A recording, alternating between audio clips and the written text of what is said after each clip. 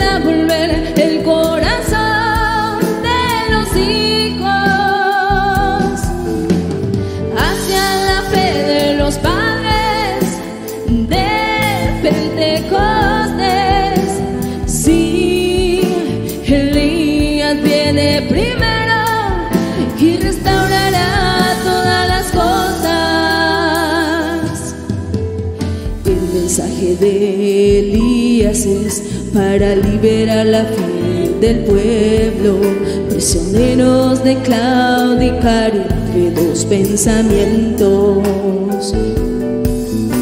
sacando de escena el nicolaísmo y balamismo. Y después de la gran sequía por causa de Acab y Jezabel, traer de regreso lluvia temprana lluvia tardía. Y mi pueblo nunca jamás será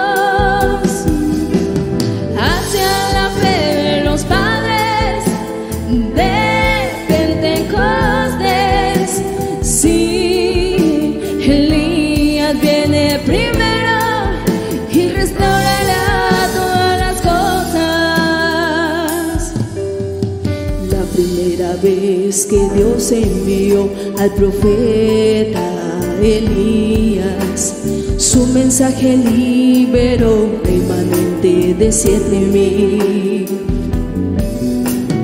Es la quinta vez que Dios enviará al profeta Elías, serán liberados ciento cuarenta y cuatro mil.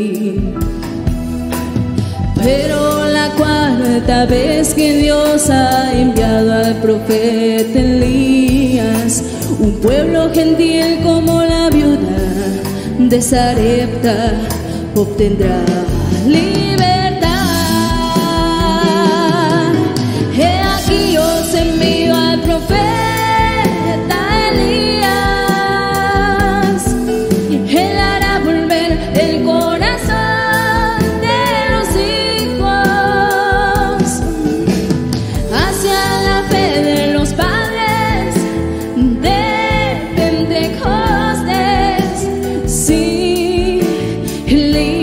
viene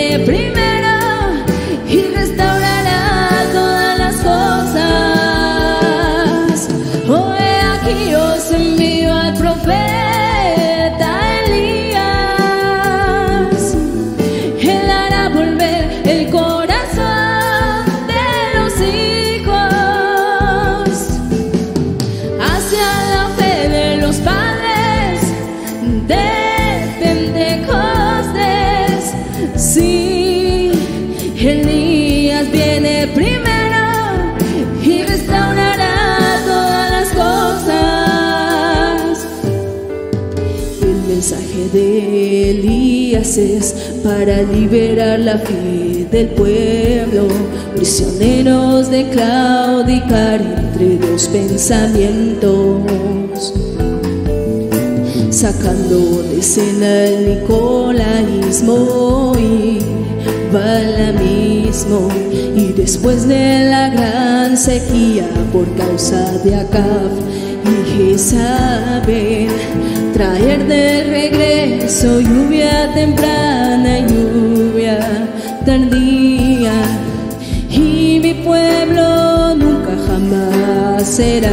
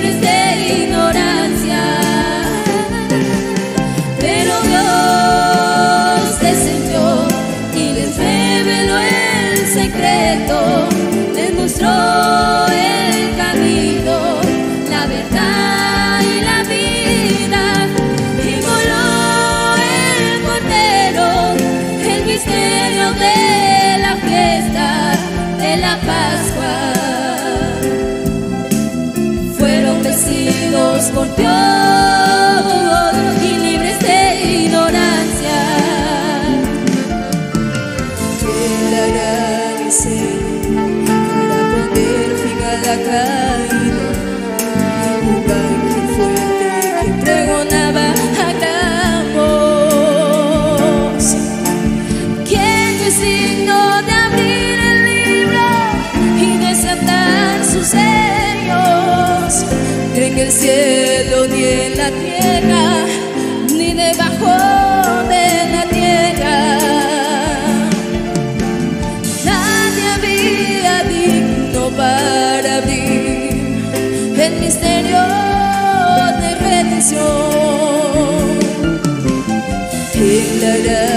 para poner fin a la caída. Un ángel fuerte que pregonaba a gran voz. Oh, quien es digno de abrir el libro y desatar sus sellos de que el cielo niega.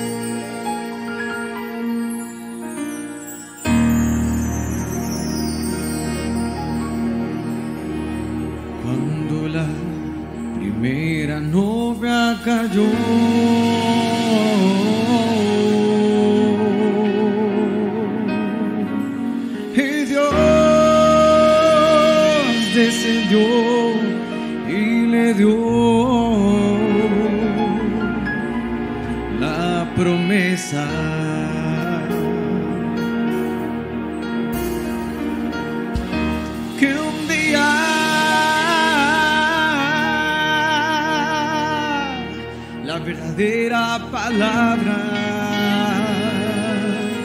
volvería ella para redención. La sentencia es, sin derramamiento de sangre, no hay redención. Y la paga del pecado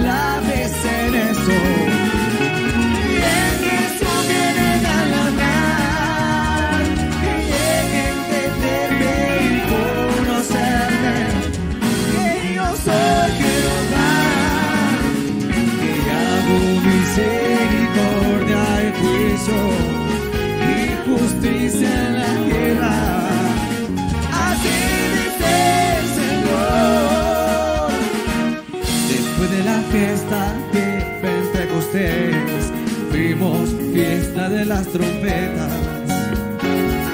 Los sobrevivientes del holocausto, como Noemí regresando a su tierra. Para su fiesta de expiación, bajo el ministerio de Moisés y Elías.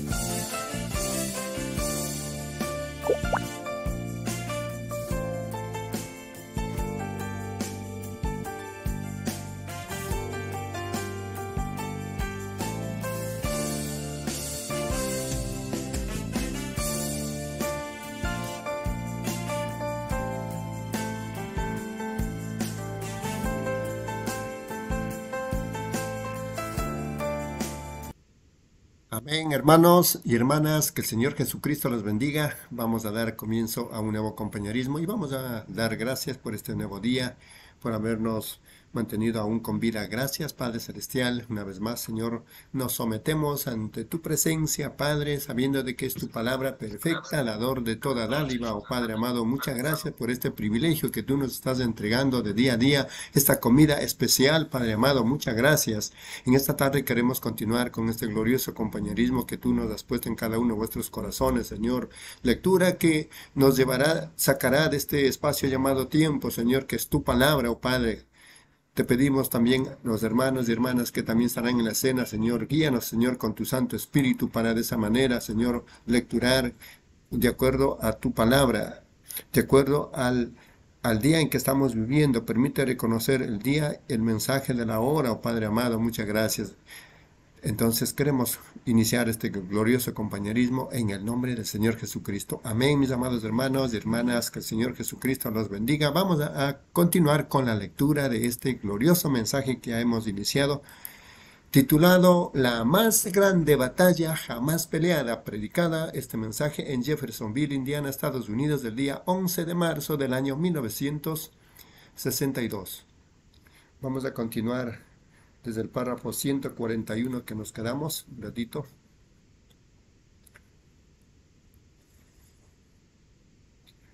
Párrafo 141. Dice así.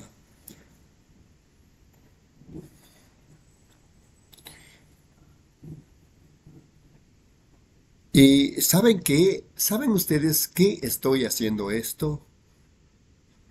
Se los diré por qué. El otro día tuve un sueño.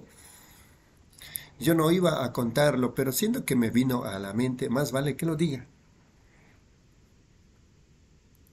Siendo que el Señor me ha dado la interpretación, soñé que yo estaba por cruzar un río muy grande en la obra misionera. Y ahora, primero, me encontraba allá con mi esposa. ¿Y cuántos conocieron a George Smith, a seis segundos Smith, de aquí de la ciudad. George Smith, su hijo, está aquí en el cuerpo policíaco. Él, el pobre George, es un alcohólico ahora. Sin embargo, él fue uno de los mejores boxeadores. Fue el que me entrenó antes que aún fuera al YMCA, Asociación de Jóvenes Cristianos. Y a cualquier parte, él nos entrenaba y él era rápido, muy rápido. Él únicamente era peso mediano, 145 libras, 65.83 kilogramos. Y él me entrenó. Y acostumbraba a pararse allí y con su puño me podía golpear así en el estómago y me levantaba contra la pared. Bien, y eso no me afectaba. Era porque él me tenía entrenado. No era otra cosa sino entrenamiento. 142. Y entonces yo soñé la otra noche que vi a 6 segundos Smith. Ahora, no fue una visión, sino que fue un sueño. Y vi a 6 segundos Smith. Y que unos jovencitos lo desafiaron luchando con él. Y él, ese anciano como de uno, o me supongo, yo tengo 52 años, 52, él tiene como unos 58, 60 años. Pero mi, uno, mi uno de esos muchachos le podía si, siquiera tocar en lo absoluto. Pero ni uno de esos muchachos le podía siquiera tocar en lo absoluto. Él simplemente los ataba en un nudo de esa manera, los echaba al suelo y los mantenía allí con su mano. Y pensé, eso es extraño. Y pensé que mi esposa estaba conmigo. Y dije, eso es extraño. Y dije, ¿sabes qué, Meda? Él solía ser, me entre, solía ser mi entrenador. Ella dijo, yo, yo recuerdo eso, tú me contaste de eso. Dije, sí, señor, con su buen entrenamiento yo gané 15 peleas profesionales y me salí de esa profesión para predicar el Evangelio. 143. En ese momento cambió y yo iba a cruzar unas, unas aguas, pero cuando yo iba a ir, iba por medio de una lancha de motor. Miré hacia allá y allí estaban sentados dos de mis hermanos allí en una canoa preparándose para ir conmigo. Dije, no pueden hacer eso, hermanos. No, no, yo debo ir solo. Y, el ranchero vino a mí y dijo, aquí está tu lancha, una canoa de plástico muy blanca. Yo dije, no, no en eso. Él dijo, bueno, tú puedes navegar en esta dirección con ella a 50 millas por hora, 80.5 kilómetros. Le dije, pero yo tengo que cruzar en aquella dirección, ven. Bueno, él dijo, vaya en esos, con esos hombres. Y yo dije, ellos no son lancheros, ellos no saben lo suficiente tocante a eso. Ellos están entusiasmados, ellos no pueden cruzar eso. Ambos se ahogarían allí, ellos no lo pudieron cruzar. Y él dijo, eres tú, puedes tú confiar. Dije, escuche, yo, yo sé más en cuanto a barcas que lo que ellos saben y yo no lo trataría de cruzar con eso, con esa clase de material. Yo dije, se requiere una lancha de motor para cruzar eso. Dije, se va a necesitar algo más grande que eso. 144. Y vi que él miró a uno de los hermanos y dije, ¿eres tú, lanchero? El hermano dijo, sí, ven. Y yo dije, eso está mal. Y el lanchero regresó y él dijo, déjame decirle lo que necesitas hacer. Déjame decirte lo que necesitas hacer. Dijo, ellos te aman, ellos te creen, pero dijo, si tú tratas de cruzar en la lancha de motor, ellos tratarán de seguirte en esa canoa. Ambos morirán, ¿ves? Dije, ellos, dijo, ellos no te pueden seguir. Y le dije, bueno, ¿qué debo hacer? Y este lanchero en el muelle, él dijo, regresa ya, dijo, únicamente hay un solo almacén pequeño en todo este país, un solo almacén pequeño. Y almacena bastante alimento. Dijo, y ellos se quedarán aquí, ellos se quedarán aquí mientras está ausente, pero dijo, tienes que almacenar alimento. Y yo colocaba en orden toda clase de repollos y nabos y rábanos y cosas así, amontonándonos allí de esa manera. Y luego desperté. Yo no sabía lo que era, pero ahora sí sé, vean, estamos almacenando alimento, hermanos. Esta es una vida que no tiene que caminar solo. 145. Leo, ¿recuerdas del sueño que tuviste en aquella ocasión cuando primero viniste aquí? El hermano Leo Mercer dice amén. Tocante a la pirámide y tú pensaste que podías subir allí. Yo dije, Leo, ningún hombre sube aquí. Dios tiene que poner a un hombre aquí. Tú escalaste todo reino físico que pudiste escalar. Yo dije, tú no puedes llegar aquí, Leo, ves, regresa allá abajo, solo dile a la gente que esto viene de Dios. Ven, ven, eso es algo de lo cual usted no puede depender. Por más buenos que sean los hermanos y las hermanas, y aún mi iglesia y todo, y por más buenas que sean las otras iglesias y los hermanos por todas partes. 146. Ahora, yo no puedo distanciarme de la iglesia allá afuera. Alguien dice, bueno, ¿por qué va usted a donde esa gente, esos trinitarios, todos estos, esos y los otros y los unitarios y los del nombre de Jesús y todas esas otras cosas así? En primer lugar, ¿por qué se mezclan con ellos? Ellos son míos, no importa lo que ellos hayan hecho, son míos, ellos son mi púlpito. Cuando Israel había hecho tanto mal a tal grado que Dios aún le dijo a Moisés, sepárate, yo empezaré una nueva, una nueva tribu contigo. Moisés se tiró en la brecha, dijo, antes de matarlos a ellos, mátame a mí. No importa lo que ellos hayan hecho. A ellos que, que he sido enviado, Él envía una luz, no para que resplandezca donde hay luz, sino donde hay oscuridad. Allí es donde la luz pertenece. Y uno tiene que estar con la gente, uno se tiene que parar con ellos a pesar de todo, tiene que 147. En los errores de ellos, Israel estaba tan errado como podía estar. Ellos estaban tan errados a tal grado que Dios los dejó. Pero Moisés, yo siempre me había preguntado cómo sucedió eso, pero era el Espíritu de Cristo en Moisés. Ven, ven, todos estamos errados. Él se paró por todos nosotros cuando estábamos en nuestro error. No importa cuán errados ellos estén, no vayamos a dejar el compañerismo o a desasociarnos con nada. Mientras podamos ganar a una alma, entremos prudentes como serpientes y sencillos como palomas. Ven, tratemos de ganar a toda alma que podamos ganar. 148. Ahora esto que estoy diciendo en esta mañana de almacenar alimento almacenando alimento para que ustedes tengan algo para comer, aleluya, para que ustedes tengan algo con la cual alimentarse, obténgalo en sus cintas. Siéntanse en la frescura del cuarto. Quizás cuando yo esté muy lejos, ustedes todavía recordarán que estas cosas son verdad. Siéntense en su cuarto y escuchen. Ven, Y esto es alimento, almacenándolo en el almacén. Yo no sé a dónde será el viaje, pero a donde sea, Él sabe dónde Él está guiando. Yo no sé, yo solamente sigo. 149. Ahora, ¿qué dijo Él aquí ahora? Escuchen muy atentamente. Por lo demás, hermanos míos, fortaleceos en el Señor y en el poder de su fuerza. Fortaleceos en el poder de su fuerza. Vestíos de toda la armadura de Dios para que podáis estar firmes contra las acechanzas del enemigo. Porque no tenemos lucha contra sangre y carne, disparando balas y cortando con cuchillos. Ven, eso no es. Sino contra principados, contra potestades, contra los gobernadores de tinieblas de este siglo. Párrafo 150 por último.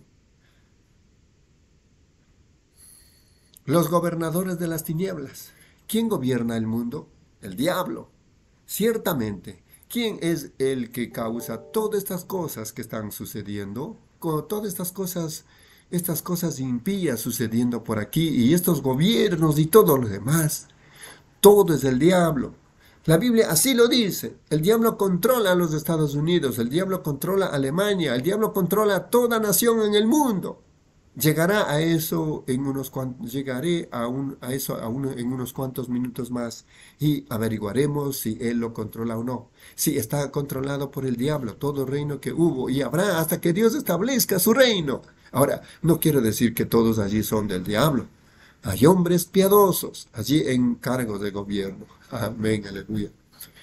Amén, mis amados hermanos y hermanas. Estamos lecturando, continuando con este glorioso mensaje titulado La más grande batalla jamás peleada, predicado en Jeffersonville, Indiana, Estados Unidos, el día 11 de marzo del año 1962. Continuamos con la lectura, hermana Reina, en los párrafos 151 al 160.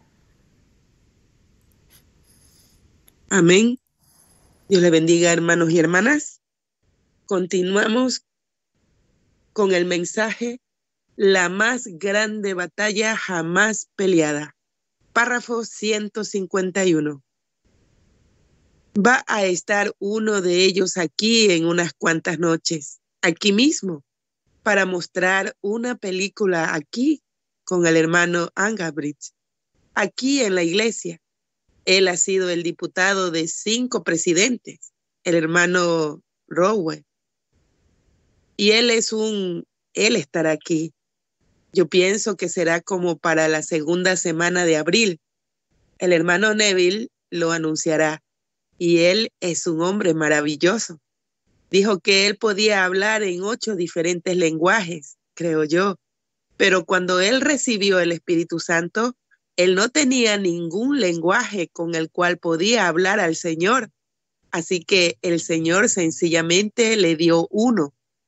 Comentaba él, Así que le habló a él con ese. Le dio uno nuevo, el cual él nunca tuvo que practicar. Muy bien, huestes espirituales de maldad en las regiones celestes. Por tanto, ahora escuchen, todos ustedes soldados, antes de empezar la fila de oración, tomad toda, toda, no solamente parte de ella, toda la armadura de Dios para que podáis resistir en el día malo. Ese es el día en el que estamos viviendo. Y habiendo acabado todo, estar firmes, estad pues firmes. Amén. ¿Captaron eso? ¿Ves, cariño? El hermano Branham otra vez le habla a hermanita enferma y habiendo acabado todo para estar firmes, entonces estad firmes, no se muevan. Estad pues firmes, ceñidos vuestros lomos. Escuchen esto, escuchen aquí lo que quiere decir esto. Ceñidos vuestros lomos. Esa es la parte media de su cuerpo. Aquí, ¿ven? Con la verdad. ¿Qué es la verdad? La palabra de Dios. Eso es correcto tu palabra es verdad. Muy bien. Y vestidos con la coraza de justicia. Eso es hacer lo que es correcto. Tener la palabra de Dios dentro de ustedes, haciendo lo que es correcto. la coraza de justicia y calzados los pies con el apresto del Evangelio de la paz. Ir a todas partes, a cualquier lugar, en cualquier momento, calzados los pies con el Evangelio. Ven y miren, sobre todo, sobre todo esto, tomad el escudo de la fe. Eso es lo que apaga los dardos, ¿ven? El escudo de la fe, con que podáis apagar todos los dardos de fuego del maligno y tomad el yelmo de la salvación. Esa es el alma, la mente, la mente aquí adentro, la cabeza, cubre la cabeza y la y la espada del espíritu, que es la palabra de Dios. ¿Cómo piensa usted usar ese yelmo? ¿Qué hace? Es una protección. ¿De qué está hecho un yelmo? De bronce. Ni siquiera se puede templar el bronce. Es duro, más duro que el hierro. Un yelmo de bronce. ¿De qué? De la salvación. El conocimiento de saber esto. Mi sanidad viene de Dios. Mi salvación viene de Dios. Mi experiencia cuadra con su palabra no con la idea de la iglesia, sino con la palabra. Amén. Ahí lo tienen. Ustedes cubiertos con una protección, el yelmo de salvación, liberación. Tomen eso. Luego marchen hacia adelante. Oh, ahora miren, eso es lo que debemos hacer. 153. El ejército de Satanás. Ahora observen. Ahora nosotros tengo que darme prisa, pero yo, yo tengo que incluir esto. El ejército de Satanás trae enfermedades. Eso es lo que Satanás es. Él es un destructor. Satanás, todo el reino de Satanás es enfermedad, muerte y dolor y confusiones y preocupación. Todo en Satanás. Dios es vida, fe, gozo, paz, en este lado aquí, ¿ven? Ahora, esos son los dos grandes poderes que se están enfrentando ahora mismo. Están contendiendo, están contendiendo aquí en el edificio ahorita mismo. Ellos contienden día tras día con ustedes, toda fuerza. Satanás siguiéndolos a ustedes, ese tremendo Goliat, un reino sacerdotal muy majestuoso, tratando de atemorizarlos él tiene razón, pero Dios, ustedes están fortificados, amén, con el Evangelio, ceñidos sus lomos con la palabra de verdad. Gloria, predicador, eso es lo que es el yelmo, el yelmo de la salvación, el escudo de la fe y blandiendo la espada en su mano. Satanás, yo vengo a enfrentarte Tú me enfrentas en el nombre de la ciencia, tú me enfrentas en el nombre de la cultura, tú me enfrentas en el nombre de la organización, tú me enfrentas en el nombre de esto, de eso de lo otro, pero yo te enfrento en el nombre del Señor Dios de Israel. Yo vengo tras de ti, apártate, ni aún la muerte misma podrá permanecer allí.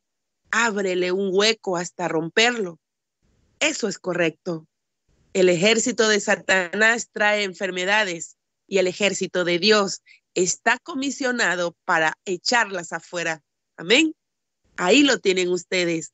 Cada vez que Satanás les ponga alguna enfermedad en ustedes, el ejército de Dios la debe echar fuera. Amén. Échenla fuera. Esa es la misma técnica que utilizó Dios. Satanás utilizó el ejército de destrucción para hacer descreer la palabra de Dios y establecerse un reino mejor que el que tenía Miguel. Y Dios lo echó fuera. Amén. El método de Dios es echar fuera el maligno, echar fuera el razonamiento, echar fuera la superstición, echar fuera la preocupación, echar fuera las enfermedades, echar fuera el pecado. Amén. Ustedes están por encima de eso resucitados en Cristo Jesús, sentados en lugares celestiales, con todo demonio bajo el pie de ustedes. Si Él empieza a meter su cabeza allí, que Ustedes ya saben que ustedes están muertos. Su vida está escondida. ¿Qué quiere decir estar muerto?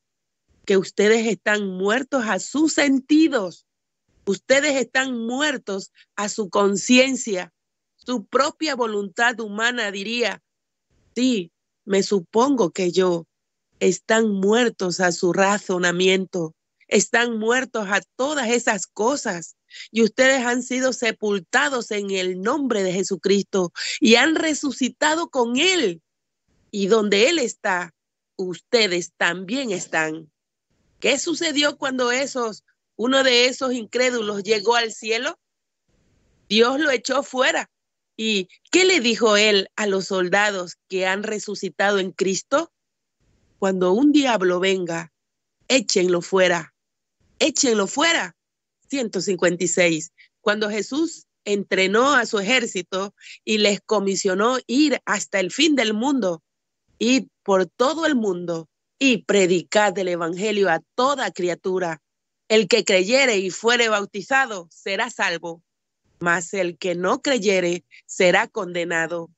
Y estas señales seguirán a los que creen.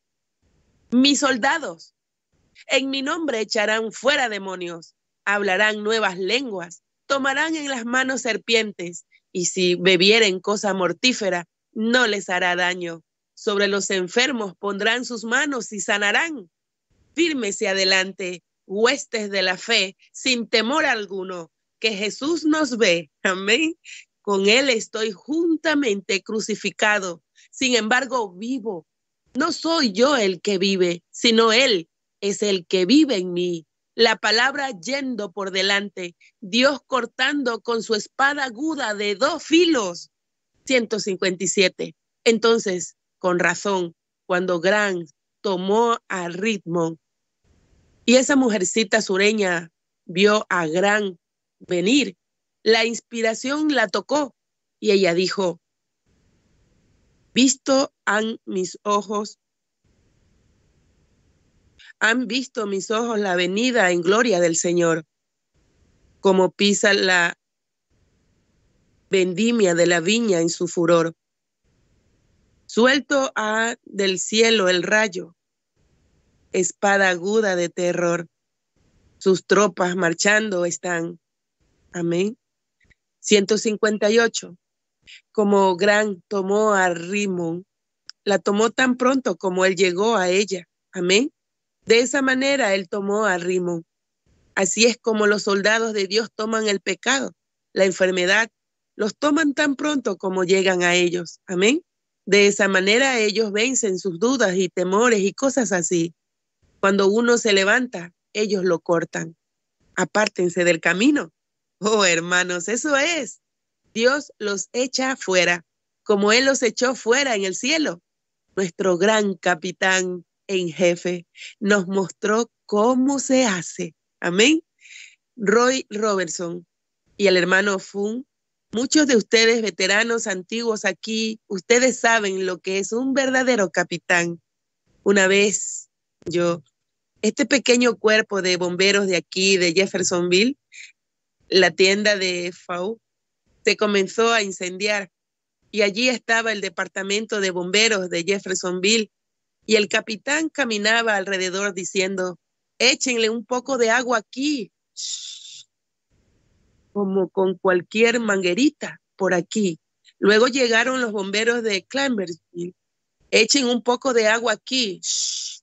La tienda FAU se seguía quemando. Párrafo 160. Ellos llamaron a Louisville. Allí llegaron hombres entrenados. Oh, cómo esas sirenas sonaron por todo allí. Y allí el capitán en jefe de esos de aquí, de estos departamentos de bomberos de aquí, decía, échenle un poco de agua aquí arriba, échenle un poco de agua ahí abajo. Hombres sin entrenamiento. Hermano, tan pronto como ese camión de bomberos se detuvo, ¿quién estaba en el extremo de la escalera? El capitán. Cuando la escalera subió, él subió con ella. Cuando él golpeó la ventana, él todavía no llegaba a la ventana. Él agarró su hacha y la arrojó por la ventana y dijo, síganme muchachos. y el incendio se apagó en unos cuantos minutos. Era un capitán. No es un capitán el que dice, échenle un poquito de agua aquí, intenten por acá un poquito, sino, síganme muchachos. Amén. Él abrió el camino. Él nos mostró cómo se hace. Pensé, ese departamento de bomberos bien entrenados apagaron ese incendio en unos cuantos minutos. ¿Por qué? Porque ellos tenían un capitán que sabía lo que él estaba haciendo. Amén. Dios le bendiga, mis hermanos. Amén. Gloria a Dios. Dios le bendiga la lectura. Continuamos con la con la lectura de este glorioso mensaje titulado La más grande batalla jamás peleada, predicado en Jeffersonville, Indiana, Estados Unidos, el día 11 de marzo del año 1962. Hermana Edith, Dios le bendiga en los párrafos 161 al 170. Dios le bendiga, hermanos y hermanas. Continuando con el mensaje La más grande batalla jamás peleada. Párrafo 161. Hermano, hablé todo lo que quiera de su teología, sus denominaciones hechas por el hombre, sus organizaciones, juegue con eso. Yo tengo un capitán en jefe que me dijo cómo hacerlo. Usted dice, bueno, sí lo puedo oler, sí lo puedo sentir. Oh, tonterías. Aquí está de la manera que el capitán en jefe dijo que se hace. En el capítulo 4 de Lucas. Yo no tengo tiempo de leerlo. Léanlo ustedes mismos. Muy bien. Lucas el capítulo 4, empezando con el primer versículo. Él nunca dijo, pues les diré, vayan acá y formen una gran organización, consigan presbíteros y diáconos, y consigue cardenales y obispos y consigan esto. Él nunca dijo eso. Cuando Satanás lo enfrentó, él dijo, pues tienes hambre hasta que estas piedras se conviertan en pan. Él le respondió, escrito está, amén. Le dijo, acá arriba, subiremos acá y te mostraré algo, pero escrito está, haré esto si tú aceptas, escrito está, 162. Así es como el capitán en jefe dijo que se hacía.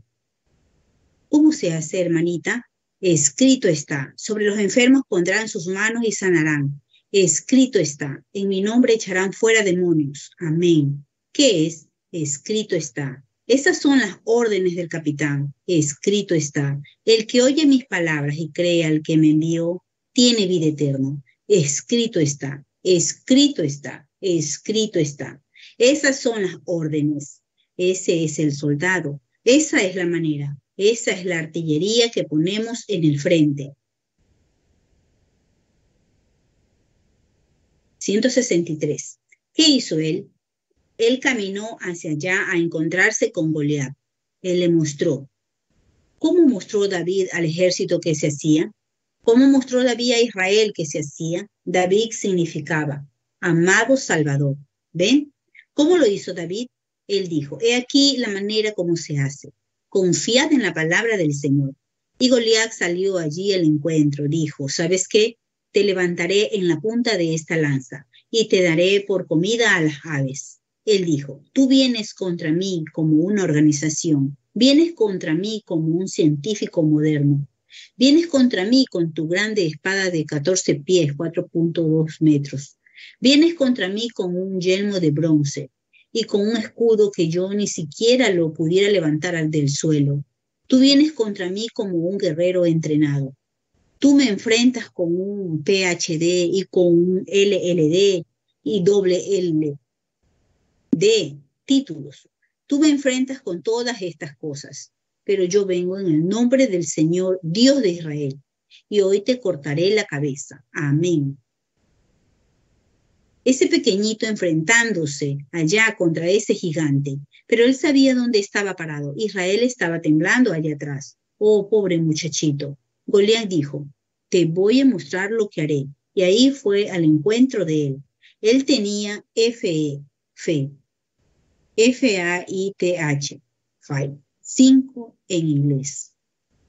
¿Ven? En J-E-S-U-S, cinco rocas, cinco piedras. Tenía una sola piedrecita allí en la onda con la cual empezar. Le dio vueltas así y el Espíritu Santo se apoderó de la piedra y salió disparada. Goliat cayó al suelo. De esa manera se hace. De esa manera Jesús lo dijo cuando dijo, ahora, si ustedes hermanos van a salir al campo misionero, si quieren saber cómo vencer estos demonios, les mostraré a ustedes cómo se hace. 165. Satanás le dijo, yo te saldré al encuentro, Goliat. Yo te mostraré lo que puedo hacer. Tú tienes hambre. Si tú eres hijo de Dios, yo te reto. Tú dices que eres hijo de Dios. Yo te reto. Si tú eres hijo de Dios, haz que estas piedras se conviertan en pan. Come, tú tienes hambre. Y si tú eres hijo de Dios, tienes poder para hacerlo. Él dijo, pero escrito está, mira, no solo de pan vivirá el hombre. Oh, de esa manera el capitán en jefe lo hizo. Lo llevó al pináculo del templo. Él dijo, si te echas abajo, dijo, tú sabes que escrito está también. Él dijo, sí, dijo, escrito está también, no tentarás al Señor tu Dios. ¿Ven cómo se llamó a sí mismo? El Señor tu Dios. No tentarás al Señor tu Dios. Escrito está también de esta manera. ¿Ven? Oh vaya, ¿qué hizo él? Él lo derrotó con la palabra de Dios. La táctica del diablo es hacerlos a ustedes que no crean la palabra de Dios. Y el capitán en jefe dice, tomen la palabra de Dios y háganlo. En mi nombre echarán fuera demonios, oh Satanás. El capitán en jefe de ellos, oh sí, ustedes saben, algunas de esas denominaciones lo tratan de hacer creer a ustedes que él tiene pezuña hendida. Ustedes saben, y una cola, y todas esas cosas. No lo crean ustedes. Él no es de esa manera, no, señor, hermano. Él más bien es un astuto, no crean ustedes que Él tiene eso. Ellos solo hacen eso para asustarlos, para que se vayan. Ese no es el diablo. El diablo no tiene una pezuña para empezar. Yo dudo mucho que Él la tenga. Él solo, Él es un espíritu. El diablo es un espíritu. Él no tiene pezuña hendida y cosas así como ustedes tratan de imaginárselo. No, no, sino que Él es sabio. Hermano, Él es un hombre verdaderamente sabio. Está educado a lo sumo, siempre ha sido en sabiduría mundana. Oh sí, él es hermoso. Organizó a su ejército con sabiduría mundana, a tal grado, hermano, que no trate usted, trate usted de hablar con sus propias palabras. Vale más que usted sepa de lo que está hablando cuando se encuentre con uno de esos tipos que dice, los días de los milagros ya pasaron. 168. Ahora, él no tiene él no tiene una pezuña hendida. Él es, él acaba de salir del seminario. Él es pulido, hermano. Déjeme decirle. Él es inteligente. PhD, LLD, QUST y todo el resto de ello. ¿Ven? En todo eso, él es tan inteligente como puede ser. Sabio, seguro que lo es. Él es una serpiente. Es más sutil de todos ellos. El cabello bien peinado, hermano, y bien vestido, y no tiene ni una arruga en el saco. Es inteligente, tan sabio y astuto como puede ser. Esa es la verdad. No se meta con él, a menos que usted sepa de lo que está hablando. Eso es correcto. Oh, pero nosotros conocemos sus viejas, sus viejas tácticas. Sabemos lo que él está intentando hacer y es nosotros descreemos la palabra de Dios y él no tiene pezuña hendida. No, no, no. Ahora hallamos que si él no tiene pezuña hendida, entonces tiene que ser algo más. Él es un embaucador. Él tiene sabiduría. Es educado.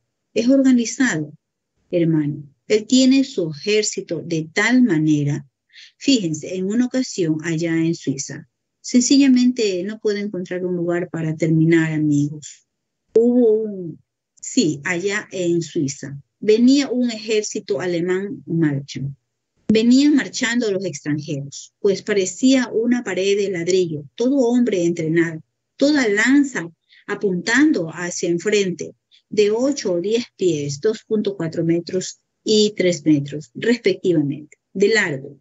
Ellos llegaron allí a la pobre y pequeña Suiza. ¿Qué tenían ellos? Estaban armados, con las, con las cuchillas de sus hoces, con palos y rocas, y allí ellos se pararon firmes, los habían arrinconados. Al otro lado de la colina estaban sus hogares. Ahí el ejército suizo les salió a su encuentro. Ellos no les habían hecho nada a ellos. Estos simplemente vinieron para apoderarse de su tierra. 170. ¿Qué ha hecho esta niña? ¿Es solo una niña?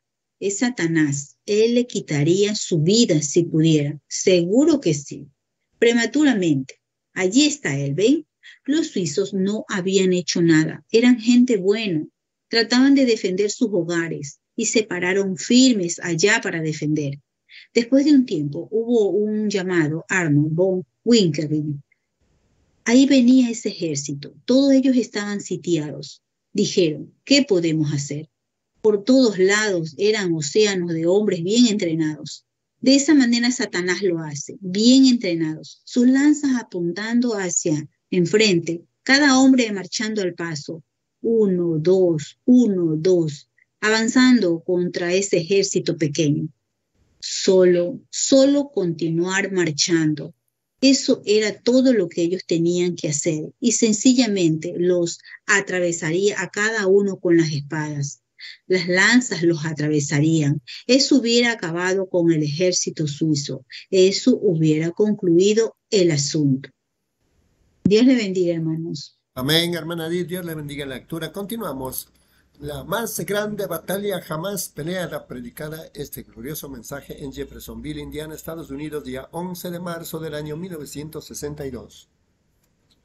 Párrafos 171 dice, al otro lado de la colina estaban sus hogares y amados. Sus mujeres hubieron sido golpeados y violadas, y sus hijas jóvenes y sus niños matados, y sus hogares quemados, y todo se hubieran llevado su alimento y ganado y cosas así. En esa condición se encontraban. ¿Qué ocurrió?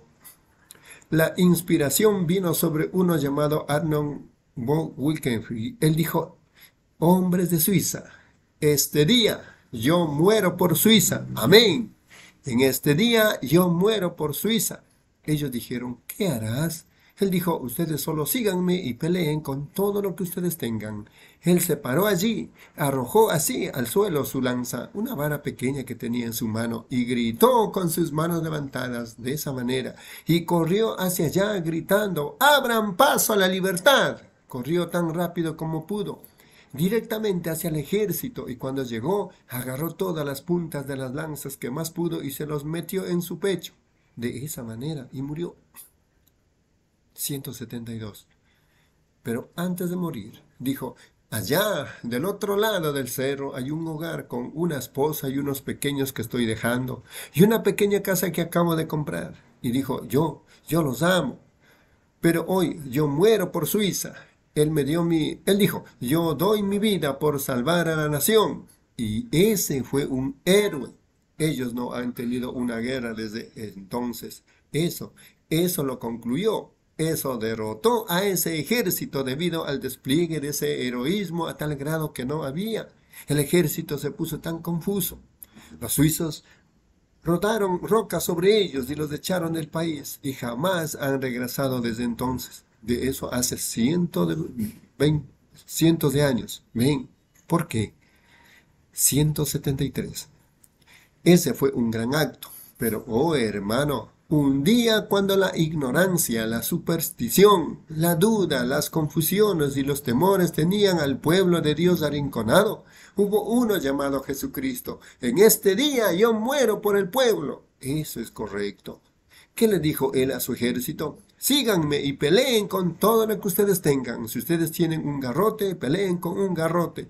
No tengan temor. Si ustedes tienen una vara, peleen con una vara. Si tienen una roca, peleen con una roca, con lo que ustedes tengan. Eso es lo que nuestro capitán en jefe dice hoy. Y tomé la palabra de Dios y derroté al diablo y su poder. Él lo hizo a pedazos, cortándolo. Amén. Con esa palabra. Ahora, con lo que ustedes tengan. Si ustedes tienen una sola palabra, yo soy Jehová tu Dios que te sana, con eso hágale pedazos. Sigan, amén. Sigan a nuestro capitán. Sí, Señor, Él lo hizo pedazos. 174. Satanás con sus hermosos y grandes reinos y más hermosura y todo tan moderno, eso no tiene nada que ver con nosotros. Eso es correcto. Él todavía es sutil, más que todos los animales del campo. Sí, Señor. Jesús dijo que los hijos de este mundo eran más sabios que los hijos del reino de Dios. Ahora, estos dos grandes entran en conflictos. Nosotros tenemos que, yo debo, tengo que terminar. Estos dos grandes conflictos se están enfrentando ahora mismo. Hoy mismo es la hora cuando las enfermedades y cosas así han azotado al mundo a tal grado que la ciencia médica está confundida y todo está confundido. No hay nada. Y, nosotros solo, y el ejército, el eh, pequeño ejército de Dios ha sido arrinconado y todo. Hermano, es tiempo para otro Arnold Wilkerhill 175. Es tiempo, tiempo para que otro hombre de Dios se levante, es tiempo para que aparezca un Elías, es tiempo para que algo acontezca. Ejército de Dios, cierren la mente, no se detengan ni un por minuto a considerar lo que el diablo tiene para ofrecerles por medio de sus sentidos y no olviden, la palabra de Dios nunca podrá fallar. Estos dos grandes ejércitos cuando el enemigo venga como río, como está viniendo hoy día. ¿Qué dijo Dios que haría? El Espíritu de Dios levantará bandera contra eso. ¿Son ustedes uno de ellos? Ah, sí, Señor. 176. Se nos enseña en Santiago 4.7. Yo no tengo tiempo para leerlo. En Santiago 4.7. Resistir al diablo. Y él no, él no nada más se irá caminando, sino que huirá. Resistir al diablo. ¿Cómo resisten ustedes al diablo? De la misma manera que nuestro capitán en jefe nos dijo que lo resistiéramos. Tomen la palabra de Dios, así como ustedes resisten al diablo, es por la palabra de Dios. El capitán en jefe nos dijo cómo se hacía. Muy bien. 177. Ahora terminando, le quiero decir esto. Ese diablo miserable, miren, él es un descarado. Piensen ustedes que atacaría a una niña. Él atacará cualquier cosa. Él atacó a Jesucristo. Él lo atacó a él con tres ataques violentos. ¿Sabían ustedes de eso? Satanás no solo atacó una sola vez, él los atacará a ustedes con una enfermedad. Luego vendrá de nuevo y los atacará. Les dirá a ustedes, los días de los milagros ya pasaron, tú no sanaste. No hay nada en eso. ¿Saben ustedes que eso es así? Él atacó a Jesús tres veces, con tres ataques violentos. Él atacó a Jesús con su incredulidad en la palabra de Dios. Jesús era la palabra, seguro. Él no creía que era la palabra. Si eres, si eres. Ahí vino él con ataques violentos. Como algunas veces el enemigo hoy. Ahí vino él. Dijo, si eres hijo de Dios, muéstrame un milagro. Déjame ver que hagas eso. Hermano, con tres ataques violentos, él lo atacó. Sí, si eres. 178. Ahora, ¿qué hizo Jesús? Jesús era la palabra de Dios. Él era la palabra y esta acá atacó a la palabra. Gloria, apenas estoy y me siento bien ahora para predicar sinceramente que sí, correcto. Jesús es la palabra. En el principio era el verbo y el verbo era con Dios y el verbo era Dios y el verbo habitó. Fue hecha carne y habitó. Jesús era la palabra. ¿Qué hizo él? Lo cortó a él en pedacitos. Oh, hermano, voy a terminar. ¿Qué hizo Jesús? Él era la palabra. Así que con la palabra él hizo pedazos a Satanás en sus ataques violentos. Él atacó allí como un regimiento de, de tropas de paracaidistas o algo así, atacó a Jesús la palabra de esa manera y Jesús tomó esa palabra y lo cortó en pedazos, aleluya, seguro lo cortó en pedazos, lo derrotó con la palabra. 179. ¿Ven su ataque? Fíjense bien, escuchen atentamente, ya para terminar. Su ataque, ¿cuál es? Hacer descreer la palabra de Dios. Ese es su ataque. ¿Pueden ustedes ver allí la, la batalla más grande jamás peleada? Solo hay dos fuerzas, Satanás y Dios. ¿Y cuál es el arma de Satanás contra ustedes? Es tratar de hacer que ustedes no crean en su propia arma. Él los desarma. Escuchamos, escuchemos muy quietamente ahora, escuchen. Si Él puede lograr que ustedes descrean el calibre de su arma, si logra hacerlos a ustedes creer que su arma no tiene el poder suficiente, entonces Él los ha desarmado. Oh, hermano Neville, yo espero que nunca creamos eso. Por si es difícil de oír en el CD. El hermano Neville dice, yo espero y oro que no Miren, Él los habrá desarmado cuando logra que ustedes descrean esa arma. Cuando ustedes dejan ese caer, ellos terminan su pelea. Allí termina su pelea. Ustedes llegaron a su fin. Empuñen bien esa arma. No la bajen. Nosotros vemos su incredulidad. Una cosa más yo quiero decir ahora, en un minuto. 180, por último, Rusia.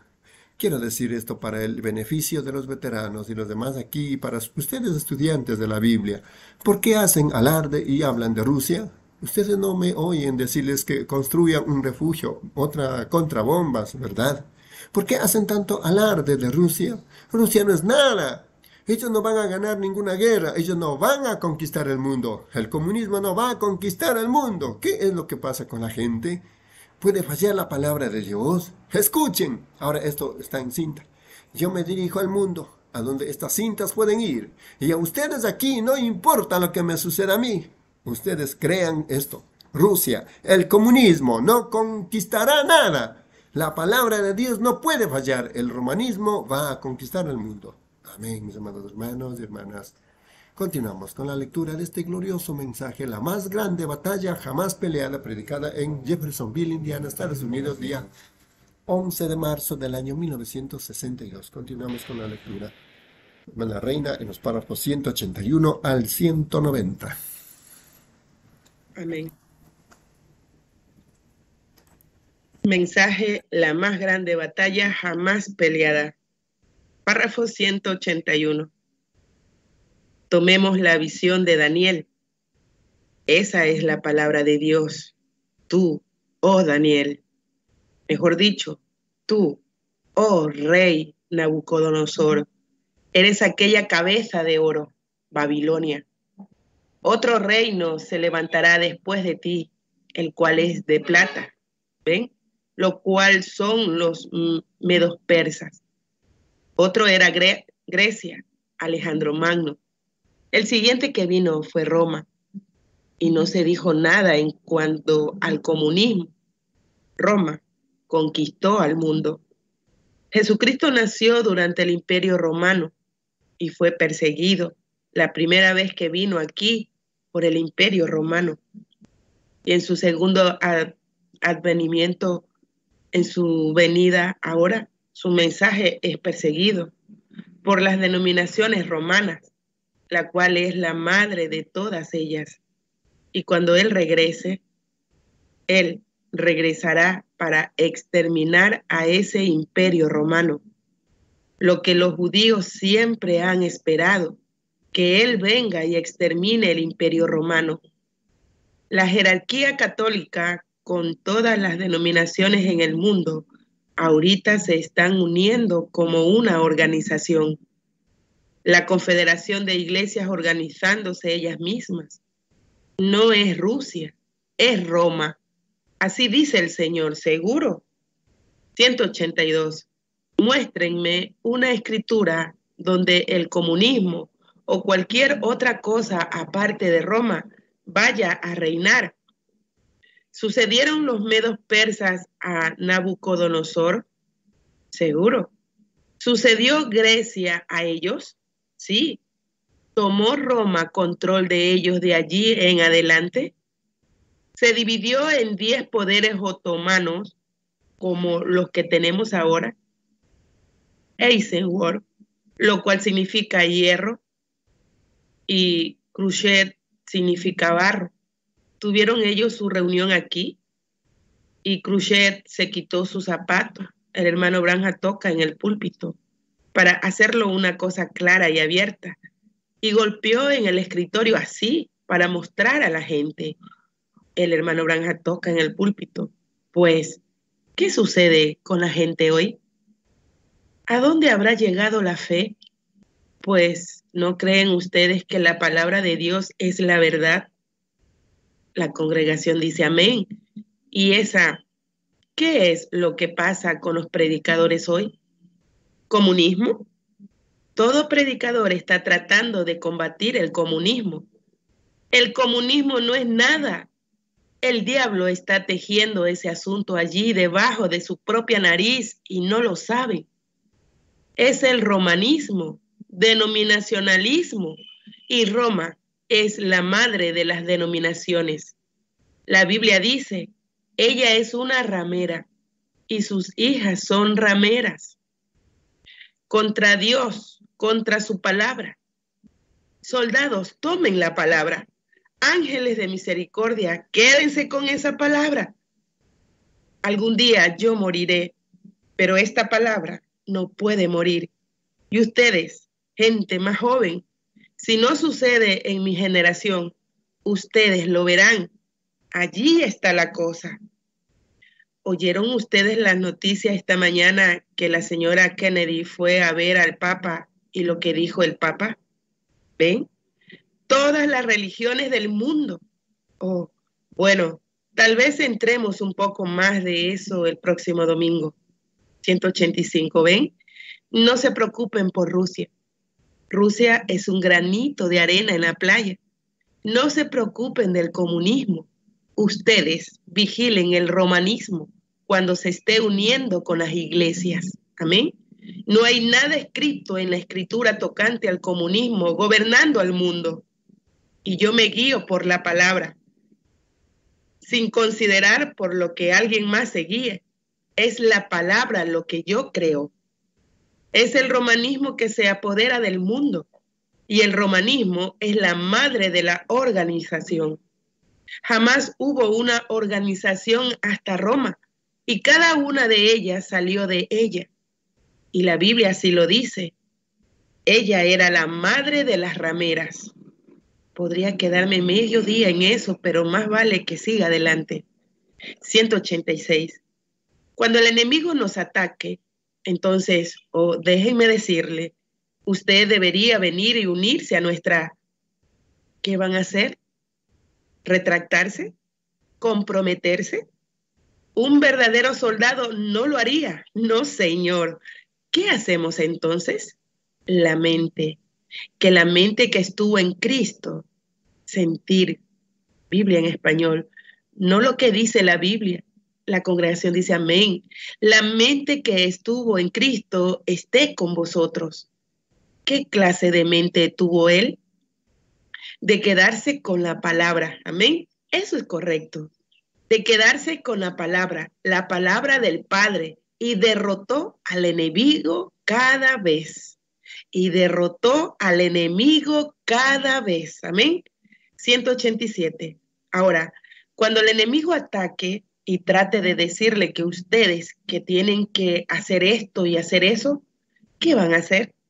Quedarse con la palabra. Eso es correcto. ¿Qué es lo que ustedes quieren hacer entonces?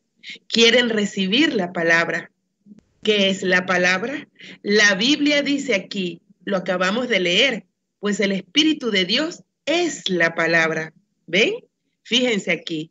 Y tomad el yelmo de la salvación y la espada, la espada del Espíritu. La espada del Espíritu. ¿Qué? El Espíritu que entra por su mente y entra dentro de ustedes y la espada de ese espíritu es la palabra de Dios. ¿Qué usa ese espíritu para combatir? ¿Qué usa el Espíritu Santo para combatir? Sensación, tacto. La congregación dice la palabra, con la palabra. El corazón, uy, gloria. ¿Con qué pelea él? ¿Con el sentimiento? Con la palabra, con la palabra digámoslo, la palabra, la palabra, la palabra, la palabra, con la palabra de Dios es con lo que pelea el espíritu, amén. El espíritu de Dios se enfrenta al diablo y le dice, escrito está, amén, escrito está. Y el diablo cede el paso, amén. 188. ¿Qué hacemos nosotros? Tomamos la espada, lo cual es la palabra de Dios, la desenvainamos con qué? Una mano de fe, una mano fuerte de fe, la espada de dos filos. La Biblia dice en Hebreos 4 que es, que es una espada de dos filos, corta de ambas maneras, entrando y saliendo. Hermano, ¿qué hace él? Toma la palabra, toma el espíritu, permita que el espíritu entre a su corazón abra su mente, diga, tu palabra es la verdad. Ahora, haga usted esto, hermanita. El hermano Branham otra vez le habla a la hermanita enferma. Tu palabra es la verdad. Señor, no le voy a prestar atención a cómo me siento, ni a lo que diga alguien más, ni a lo que yo mismo diga. Me estoy tapando. Voy a destapar cada una de mis avenidas. Todas las confusiones y dudas e incredulidades que yo haya tenido. Todo sentir que haya tenido, toda enfermedad que haya tenido, todo lo demás que haya tenido. Ahora estoy soplándolo todo para afuera. Estoy pasando por alto todo eso. Vengo directamente a mi espíritu. Oh Señor, baja. Tú dijiste que me hiciste un ser con libre albedrío. Tú lo eres, hijo mío. Muy bien. Yo abro mi corazón y mi mente. Entra, Señor Jesús, y empuñe la fe, esa espada del Espíritu. Así dice el Señor. Grite, aleluya, amén. Luego corte todo enemigo enfrente de ustedes. Amén. Ahí está. Corte todo enemigo. Si un, un espíritu atemorizador lo está haciendo que usted se sienta todo, corte esa cosa con la palabra del Señor. Pero nuestra fortaleza es el gozo del Señor, mi fortaleza es. Apártate de mí, golpéelo fuerte, córtelo con la palabra. Amén. Párrafo 190. Ya sea un demonio, sea un enemigo, ya sea una enfermedad, ya sea una aflicción, lo que sea, empuñe esa espada, lo cual es la palabra, y desenvaínela. Y si usted lo golpea fuerte la primera vez y no parece que se mueve, golpéelo fuerte otra vez, y golpéelo fuerte otra vez, y golpéelo fuerte otra vez, y golpéelo fuerte hasta que usted le haga un agujero, igual que un pollito saliendo rompiendo del cascarón, o mejor dicho, un aguilucho, lo cual es lo que usted es. Salga usted rompiendo ese viejo cascarón de enfermedad. Ábrase paso y diga, aleluya, ¿dónde está el que sigue? Amén. Esa es la batalla. Ese es un soldado. Ese es el soldado de la cruz. Sí, Señor. Amén. Dios le bendiga, mis hermanos. Amén, hermana Reina. Dios le bendiga la lectura. Continuamos. La más grande batalla jamás peleada, predicada este glorioso mensaje en Jeffersonville, Indiana, Estados Unidos, del día 11 de marzo del año 1962. Continuamos, hermana Di, por favor, en los párrafos 191 al 200. Dios le bendiga, hermanos. Continuando con la lectura del mensaje, la más grande batalla jamás peleada. Párrafo 191. Derroten todo enemigo. ¿Por qué? Porque nosotros, una simiente real de Abraham predestinada, cuando Abraham negó todo lo que era en contra de la palabra de Dios, él se abrió camino cortando todo obstáculo que venía enfrente de él. Ellos decían, tu esposa está demasiado anciana. Él sencillamente cortó eso, apartándolo del camino. El diablo dijo, no puedes hacer esto, no puedes hacer aquello. Abraham cortó eso, despejando el camino. Él lo golpeó fuerte y lo golpeó fuerte hasta que logró abrirse camino. ¿A dónde, Señor, ahora? Sube tu tienda aquí arriba. Fue y le edificó un altar a él allá arriba. Llegó allá arriba y Satanás vino. Dijo, pues déjame decirte, este no es el lugar correcto. Aquí mismo me voy a quedar. Sal de mis terrenos. Le dijo, aleluya. Locke dijo, mejor baja acá. Estamos disfrutando de unos buenos momentos acá. Todos tenemos nuestra organización acá. Oh, mi esposa es la directora de la sociedad literaria y todo lo demás en la ciudad. Déjame decirte, debes bajar acá. Sara dijo, Abraham, cierra la boca, Sara. Aleluya. Permaneceré aquí mismo. Aquí es donde Dios me colocó. Aquí mismo es donde permaneceré. Aquí es donde Dios me colocó. Toda aclamación al poder del nombre de Jesús. Que los ángeles se postren. Traed la diadema real y corónelo a él, Señor de todo. En Cristo la roca sólida me paro. Todos los otros terrenos son arena movediza. Todos los otros terrenos son arena movediza. Aún la muerte misma, todo lo demás es arena movediza. Sobre Cristo, la roca firme, me paro. La simiente real de Abraham. La simiente real. 193. Pues el ejército mejor seleccionado de Inglaterra es la realeza de Inglaterra, de sangre real, todo eso. Y la simiente real de Cristo es la iglesia llena con el Espíritu Santo, llena con el Espíritu Santo, que la simiente real por la promesa, no por alguna sensación, sino por la promesa de Dios. Ellos se mantienen firmes por la palabra y despejan el camino gritando aleluya. Aún la muerte viene y le dice, estoy entrando poco a poco. Diga, ábrete, Jordán, voy a cruzar. Porte, abriendo camino hasta la tierra prometida. Amén. ¿Qué sucede cuando la batalla haya terminado? Estoy terminando ahora de seguro. Cuando la batalla haya terminado y los santos vayan marchando al hogar, les quiero preguntar algo. ¿Qué sucedió cuando Hitler entró a Francia? Bueno, ellos dicen que uno ni siquiera podía ver los cielos por un rato debido a los aviones. Los alemanes marchaban al paso de ganso. El hermano Brana demuestra la marcha de ganso dos veces en la plataforma. ¿Ven? Ellos estaban parados mientras pasaban, celebrando una victoria. Cuando Stalin entró a Rusia, iba seguido durante millas por tanques, cada uno de ellos separado solo un poco uno del otro, pues acababan de bombardear a Berlín a tal grado que nada quedó de él. Eso es todo. Y cuando ellos entraron, y esos alemanes, esos soldados rusos celebrando, ellos entraron con esa, ustedes saben, esa cosita graciosa que ellos hacen, yo la vi en una película en una ocasión en Londres, como entraron ellos. La película original de la cosa que sucedió cuando entraron, celebrando. Oh, qué cosa. Cuando nosotros oímos que la guerra había terminado, nosotros gritamos, soplamos silbatos. Cuando los héroes regresaron, todos nosotros fuimos a recibirlos allá. Ellos gritaban, ellos aclamaban. 195.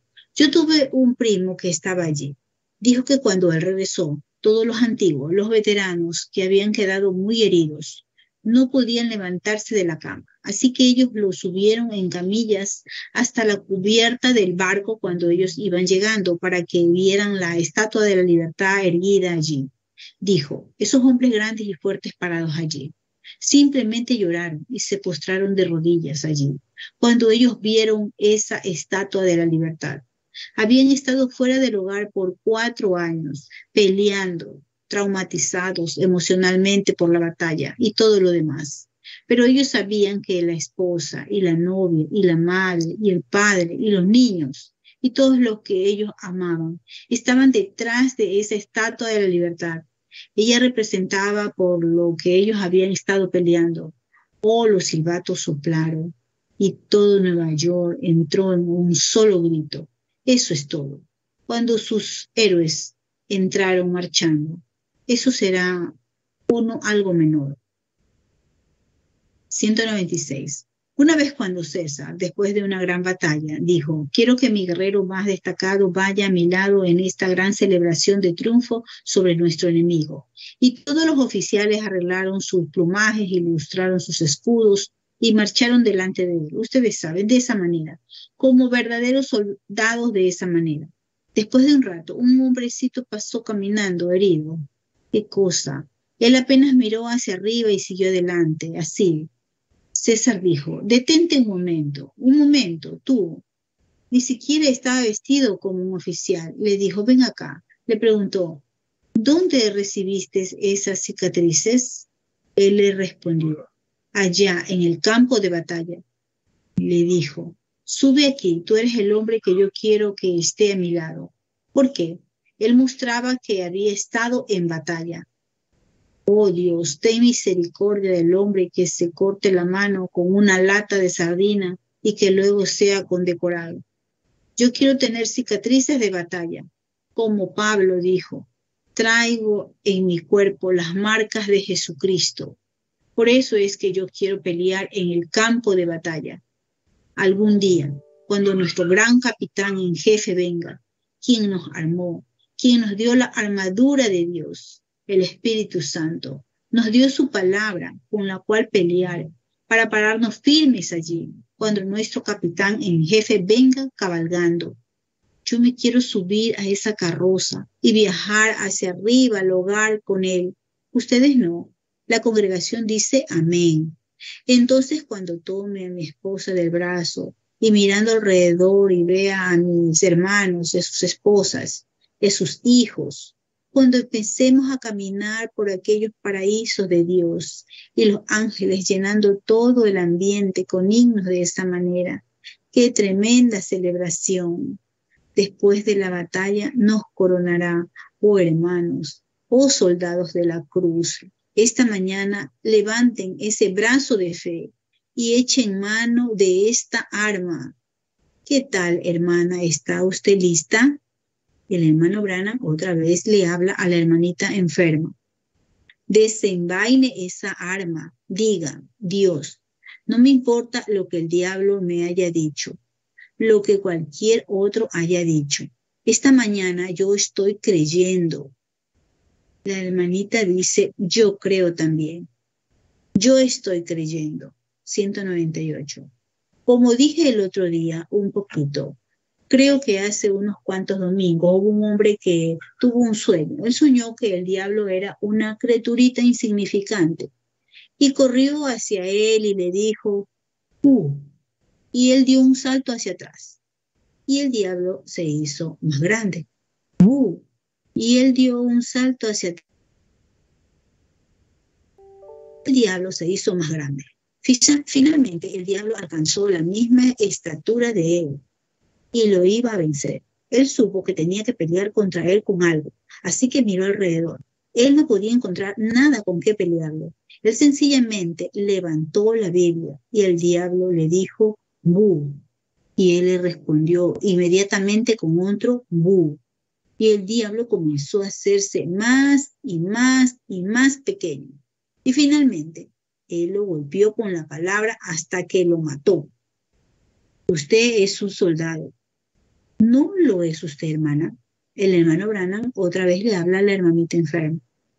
Tome esa palabra y diga, escrito está, amén. Yo no voy a morir, yo voy a vivir. Yo me sentaré en este tabernáculo y alabaré a Dios por su bondad, como el resto de ellos. ¿Creen ustedes eso, santos? La congregación dice amén, amén. Inclinemos nuestros rostros. 200. Oh Señor Dios, creador de los cielos y de la tierra, que hoy se sepa que tú todavía eres Dios. No importa cuánto yo predique, cuántas cosas yo dijera. Señor, una palabra de parte tuya lo deja establecido. Estos paños están puestos aquí, representando a la gente enferma.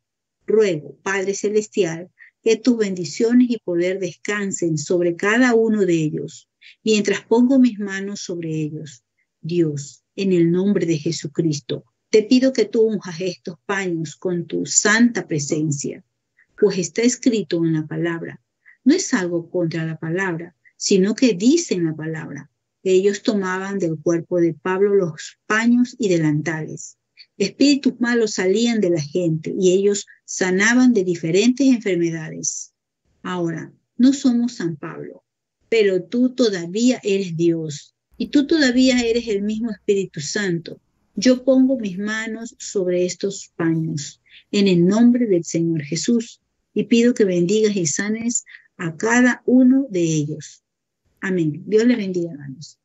Amén, hermana Dios le bendiga la lectura, concluyendo este glorioso mensaje. La más grande batalla jamás peleada, predicada en Jeffersonville, Indiana, Estados Unidos, día 11 de marzo del año 1962, dice 201 el párrafo. Y Dios postrada aquí en una cama, la que ha estado acostada allí no es sino una niña, una niñita hermosa. Ella no podrá vivir, Señor.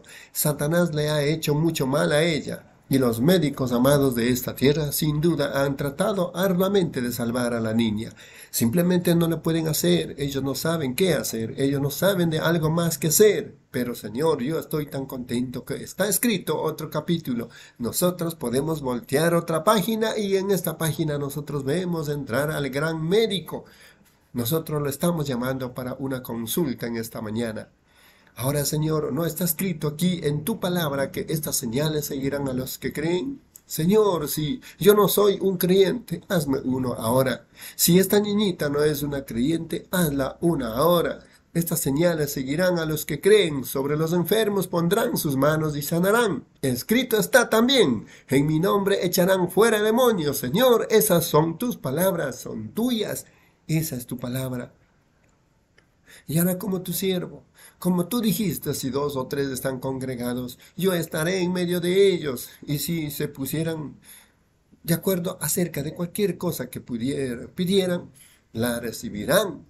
Dios, esta niña es probablemente la persona más enferma en el edificio esta mañana, porque si ti, ella no podría vivir por mucho más tiempo y ella es la que está más enferma. Así que todos nosotros estamos de acuerdo como tu soldado parado aquí. Y en este grupo está la simiente real de Abraham. Estamos marchando contra Satanás ahora, y vale más que te prepares para salir, Satanás, porque nuestras armaduras están brillando. Las bandoleras, las banderolas están ondeando. Hombres y mujeres y hombres están sosteniendo espadas, marchando hacia adelante ahora contra ti para rescatar esta niñita. Sal de ella, Satanás. Deja a esa niña, como el ejército del Dios viviente te desafiamos. Déjala en el nombre de Jesucristo. Voy a poner manos sobre ella.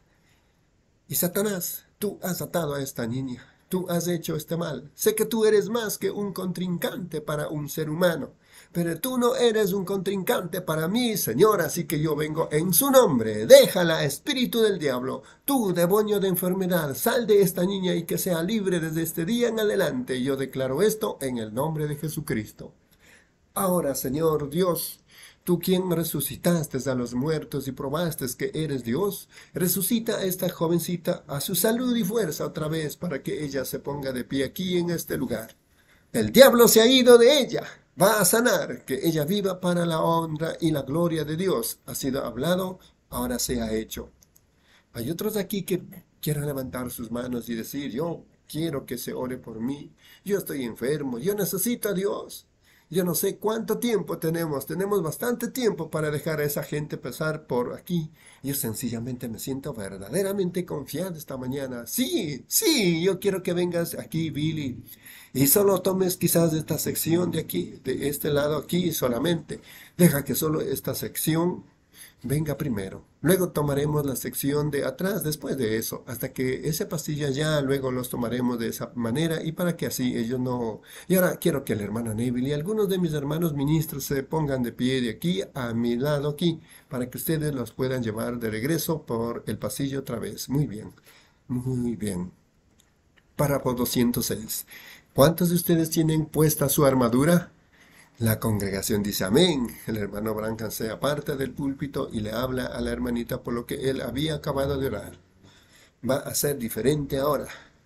Te puedes ir a casa. Todo va a estar bien y sanar. Amén. Oh, hermanos, todos ustedes soldados desenvainen la espada. Desenvainen la espada, soldados de la cruz. Sigan marchando, sigan marchando. En Cristo, la roca sólida, me paro. Todos los otros terrenos son arena movediza. 207. Muy bien, vengan, vengan aquí por este lado. Todos estén orando ahora. Mientras ellos pasan, en el nombre de Jesús, sana esta mujer. Amén. Desenvaine su espada ahora. Vaya directo a su asiento gritando. Las personas avanzan por la línea de oración. Firmes y adelante, huestes de la fe, sin temor alguno, que Jesús nos ve. Satanás, apártate. ¿Qué pasa ya, soldados? ¿No creen ustedes que podemos conquistar? La congregación se regocija y dice, amén, Él ya ha conquistado, nosotros somos más que victoriosos en Cristo Jesús. Todo demonio ha sido echado fuera y todo lo demás, amén. Vengan aquí, mis hermanos. El hermano Branham continúa orando por los enfermos. Vengan aquí, mis hermanos. Yo pido que tú sanes aún a mi hermano, sánalo, Padre, en el nombre de Jesús, en el nombre de Jesucristo. Oh Señor Dios, creador de los cielos y la tierra. Oh Dios, tú sabes lo que está en el corazón de ella. Tú sabes todo al respecto. Yo te pido por ambos, madre y papá, en el nombre de Jesucristo, yo los encomiendo. En el nombre de Jesucristo yo. Y otro que en el nombre de Jesucristo yo. Dios, sé con mi hermana. Nosotros sabemos que los daños empiezan a acumular y y causa que la muerte quiera estar en manos del cuerpo de la mujer. Ahora, en el nombre de Jesucristo, En el nombre de Jesucristo, bendice a esta niñita, Señor. Nuestras batallas allá en la escuela, yo sé por lo que ella pasa, te pido que tú la bendigas, que ella saque esa espada esta mañana. Bendice a este muchachito, al padre y al hijo. Oro que tú, Dios bendice a mi hermano. Concede a él su petición en el nombre de nuestro Señor Jesús. En el nombre de Jesucristo, sana a nuestra hermana. En el nombre de Jesucristo, sana a nuestra hermana. En el nombre de Jesucristo, sana a nuestra hermana. En el nombre de, nuestro, de Jesucristo, sana. En el nombre de Jesucristo, sana a nuestra hermana. En el nombre de Cristo, sana a nuestra hermana. En el nombre de Jesucristo, sana. En el nombre de Jesucristo, sana a mi hermano. En el nombre de Jesucristo, sana a mi hermana. En el nombre de Jesucristo, sana a mi hermana. En el nombre de Jesucristo. En el nombre de Jesucristo, que sea sanada. Párrafo 209. La línea de oración continúa y las palabras no se distinguen bien. Oh Dios, sabiendo que esa preciosa madrecita está pasando por todos estos problemas, te pido Dios que tú sobre ella desenvaine esa espada y, vaya adelante en el nombre de Jesús. Las palabras no se escuchan bien. Dios Padre, te pido que tú sanes a nuestro hermano y les des salud y en el nombre de Jesucristo. Dios, te pido que tú sanes a nuestra hermana y le des salud en el nombre de Jesucristo. Dios Padre, te pido que tú, tú sanes a nuestro hermano. Oh Dios, bendícelo, Señor Jesús. Nombre del Calvario, concédelo en el nombre de Jesús. Nuestro Padre Celestial, te pido que mi hermano, oh Dios, a él, oh Dios, soldado de la cruz, y que él saque esa espada esta mañana y marche hacia adelante. Dios, nosotros, concede esto, oh Señor, su petición. Dios bendice al hermano. Te pido que tú los sanes, Señor. Dale el deseo de su corazón en el nombre de Jesucristo. Oh Padre Celestial, este ministerio del Evangelio su garganta, siendo que ella ha lavado en ollas Dios te pido que tú, y mientras el gran ejército de Dios está marchando hacia adelante ahora con espadas levantadas, dale la victoria, Señor. Su esposo aquí, Señor, quien fue levantado de esa cama cancerosa donde él estaba acostado, muriendo de cáncer y los doctores lo desahuciaron mientras consultaba. Y aquí está él, él esta mañana, un soldado de la cruz. Fortalécelo, Señor, para tu servicio, pedimos en el nombre de Jesús. Amén párrafo 210. Yo quiero que esa damita, algo sucede aquí con este hermanito predicador. Venga, hermano Kid. Este hombre fue enviado a casa del hospital recientemente, muriéndose, comido con cáncer. La hermana aquí dice hace un año. Hace un año, dos, hace dos años, con cáncer de la próstata.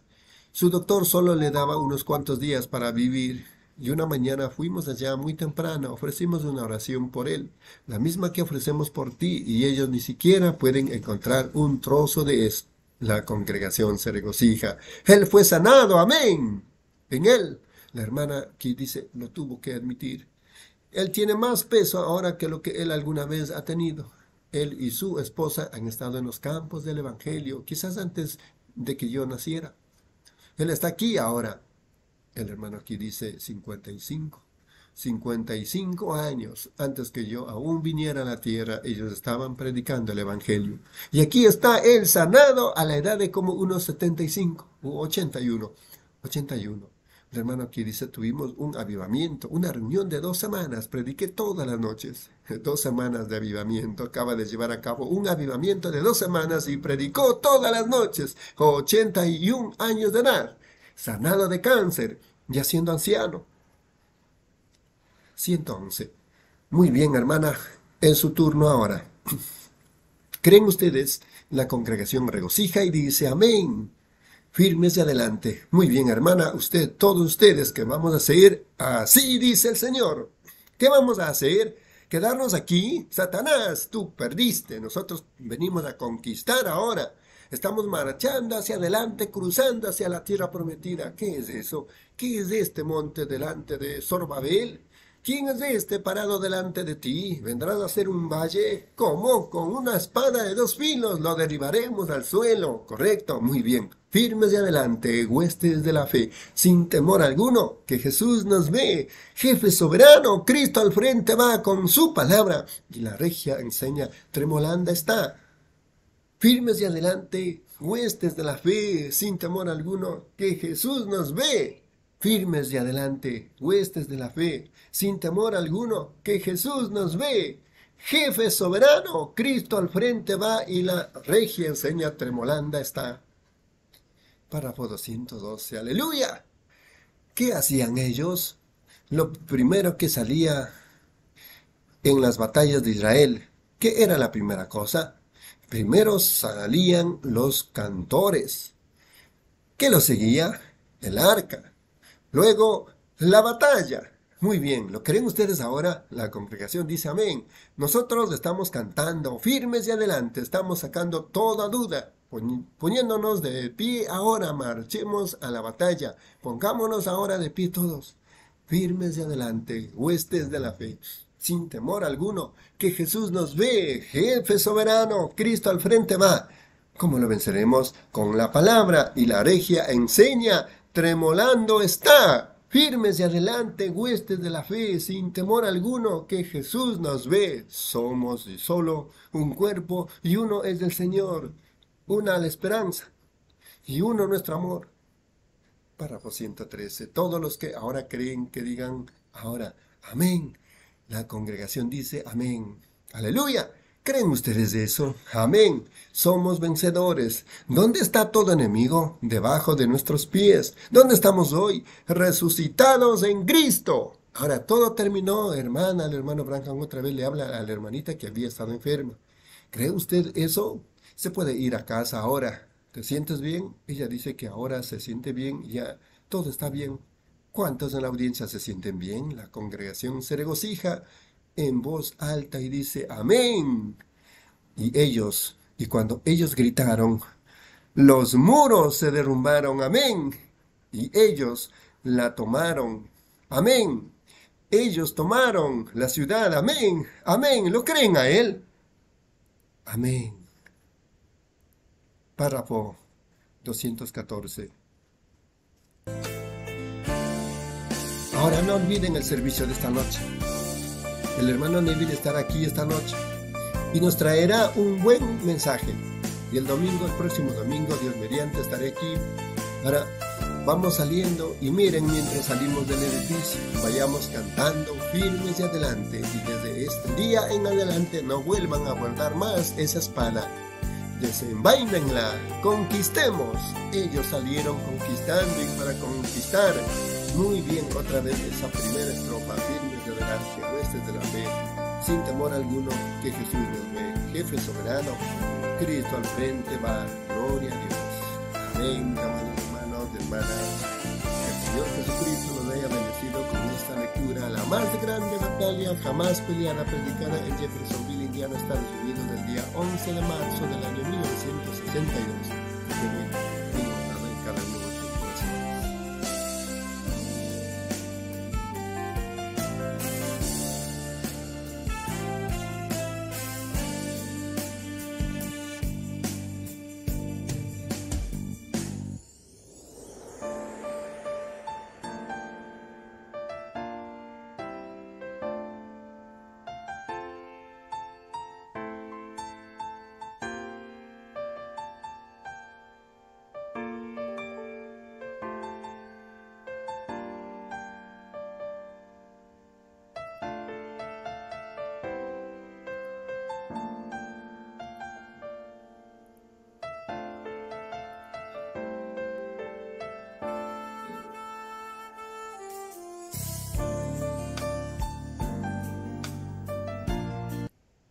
Amén, hermanos y hermanas, que el Señor Jesucristo los siga bendiciendo.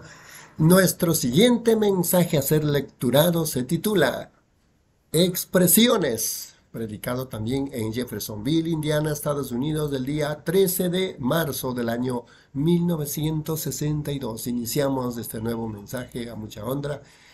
Hermana Reina, en los párrafos 1 al 10. Amén. Mensaje, expresiones. Párrafo 1. Junto con estos testimonios y reconocimientos de nuestra hermana fallecida, a mí también me gustaría dejar estas palabras. Mi primer trato con la familia de Bell fue a través de su esposo Jimmy, quien era un gran amigo íntimo de mi padre que ya partió. Y luego, al pasar los años, me convertí en un ministro y conocí a la hermana Bell. Y la conocí como una cristiana muy devota. Todos nosotros la extrañaremos en todas partes. Es muy fácil decir palabras acerca de alguien así, porque uno no tiene que reservarse nada. Ella era lo que se requería para ser una cristiana. Cuando escuché a la hermana cantar hace unos momentos, me hizo recordar mucho sus cantos, como nosotros la conocimos a ella por aquí. A ella le encantaba cantar. Me alegra que hayan hecho esto porque eso realmente expresó cómo se hubiera sentido la hermana Bel. A ella le hubiera gustado expresarse de esa manera. Mi oración, mi oración sincera es que todos nosotros lleguemos al final del camino con un testimonio como el que tuvo ella. Párrafo 2. Deseo leer algo de la escritura aquí, solo una porción. Yo creo que ella era una gran amante de la palabra de Dios y su palabra es tan eterna. Y yo pensé que leería una porción del capítulo 14 de, de Jod. El hombre nacido de mujer, corto de días y hastiado de sinsabores, sale como una flor y es cortado, y huye como la sombra y no permanece. Sobre este abre tus ojos y me traes a juicio contigo? ¿Quién hará limpio a lo inmundo? Nadie. Ciertamente sus días están determinados y el número de sus meses está cerca de ti. Le pusiste límites de, los cuales no pasará. Si tú lo abandonares, él dejará de ser. Entre tanto, deseará, como el jornalero, su día porque si el árbol fuere cortado, aún queda de él esperanza, retoñará aún, y sus renuevos no faltarán. Si se envejeciere en la tierra su raíz, y su tronco fuere muerto en el polvo, al percibir el agua reverdecerá, y hará copa como planta nueva. Al leer de la palabra eterna, me gustaría que meditáramos sobre una sola más. El hombre morirá y será cortado. Perecerá el hombre. ¿Y dónde estará él? Como las aguas se van del mar y el río se agota y se seca, así el hombre yace y no vuelve a levantarse. Hasta que no haya cielo, no despertarán, ni se levantarán de su sueño oh, ¿quién me diera que me escondieses en el Seol, que me encubrieses hasta apaciguarse tu ira, que me pusieses plazo y de mí te acordaras? Si el hombre muriere, ¿volverá a vivir? Todos los días de mi edad esperaré hasta que venga mi liberación. Entonces llamarás y yo te responderé tendrás afecto a la hechura de tus manos, pero ahora me cuentas los pasos y no das tregua a mi pecado. Párrafo 3. Leyendo de la palabra eterna, quisiera que pensáramos solo en una palabra por unos pocos momentos. Y esa palabra es expresiones. Hay tanto en la vida que son expresiones y no hay nadie quien viva sobre la tierra que en algún momento de su vida no haya tenido que detenerse a meditar de dónde vino, cuál es su propósito aquí y a dónde irá algún día. A todos nos gustaría mirar más allá de la cortina, leyendo aquí del libro más antiguo de la Biblia, este patriarca. Él estaba tratando de descubrir esta misma cosa y él estaba desahogando su impulso de Dios, expresando lo que sería la vida después de la muerte, cuando somos confrontados con algo así. A veces pensamos que esto es todo, pero no lo es. Es un cambio, es dar un paso más arriba, es pasar de una vida a otra. Y el profeta Jod, mientras pensaba acerca de estas cosas, él descubrió eso en la botánica, la vida de las plantas, la vida de los árboles. Así que él se estaba dando cuenta de cómo es que Dios debía estar en la creación. Que si él hizo la creación, entonces que él debía vivir en la creación. Porque él la hizo por un propósito, para él mismo vivir en ella como una casa que un hombre construyera. Estas vidas tan pequeñitas que están en toda la creación de Dios están sujetas a su hacedor. Y él estaba pensando que, que si viniera una tormenta y destruyera un árbol fuerte, sin embargo, que ese no era el fin de ese árbol. Volvería a vivir. Si el árbol moriría, moría, viviría. Repito, Volvería a vivir si el árbol moría, viviría. Y muchas veces cuando nosotros estamos frustrados, si tan solo miramos a nuestro alrededor, pudiéramos ver a Dios en todas partes. Ahora lo tomaremos a Él como en el árbol. Si el árbol es puesto aquí y todo está aquí para cumplir un propósito, así como nosotros estamos aquí para cumplir un propósito, así como nuestra hermana estuvo aquí para cumplir un propósito. Todos nosotros estamos aquí para un propósito de Dios. Si podemos descubrir cuál es ese propósito y luego cumplirlo bien, ciertamente, si Dios tiene el suficiente cuidado de que haya una resurrección para la vida botánica, él también tiene cuidado de que haya una resurrección para la vida humana. Así que el patriarca Jod se fijó que si el árbol moría, volvía a vivir. Y cómo es que el verano e invierno cambiaban a sus existencias y cada día dejaba un testimonio. Él notó que el árbol estaba vivo en la época de verano y parecía que en la época de invierno moría las hojas que colgaban del árbol. Párrafo 5. Ahora, en la escritura se nos enseña que hay un árbol de la vida. Estaba en el huerto del Edén. Y este árbol de la vida es de donde penden los cristianos, como una hoja de este árbol. Y en la época de invierno, cuando las hojas están bonitas, pues ellas, o en la época de verano, mejor dicho, cuando las hojas están bonitas y verdes, después de cierto tiempo llega la helada y les da diferentes colores y ellas caen del árbol y la vida regresa a la raíz del árbol. Si nos damos cuenta, es algo misterioso. Párrafo 6.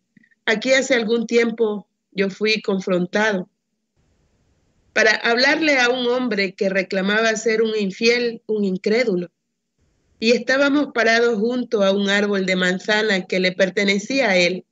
Y yo le pregunté cuántos años tenía el árbol y él me dijo cuántos años y cuántas medidas de manzana producía cada año.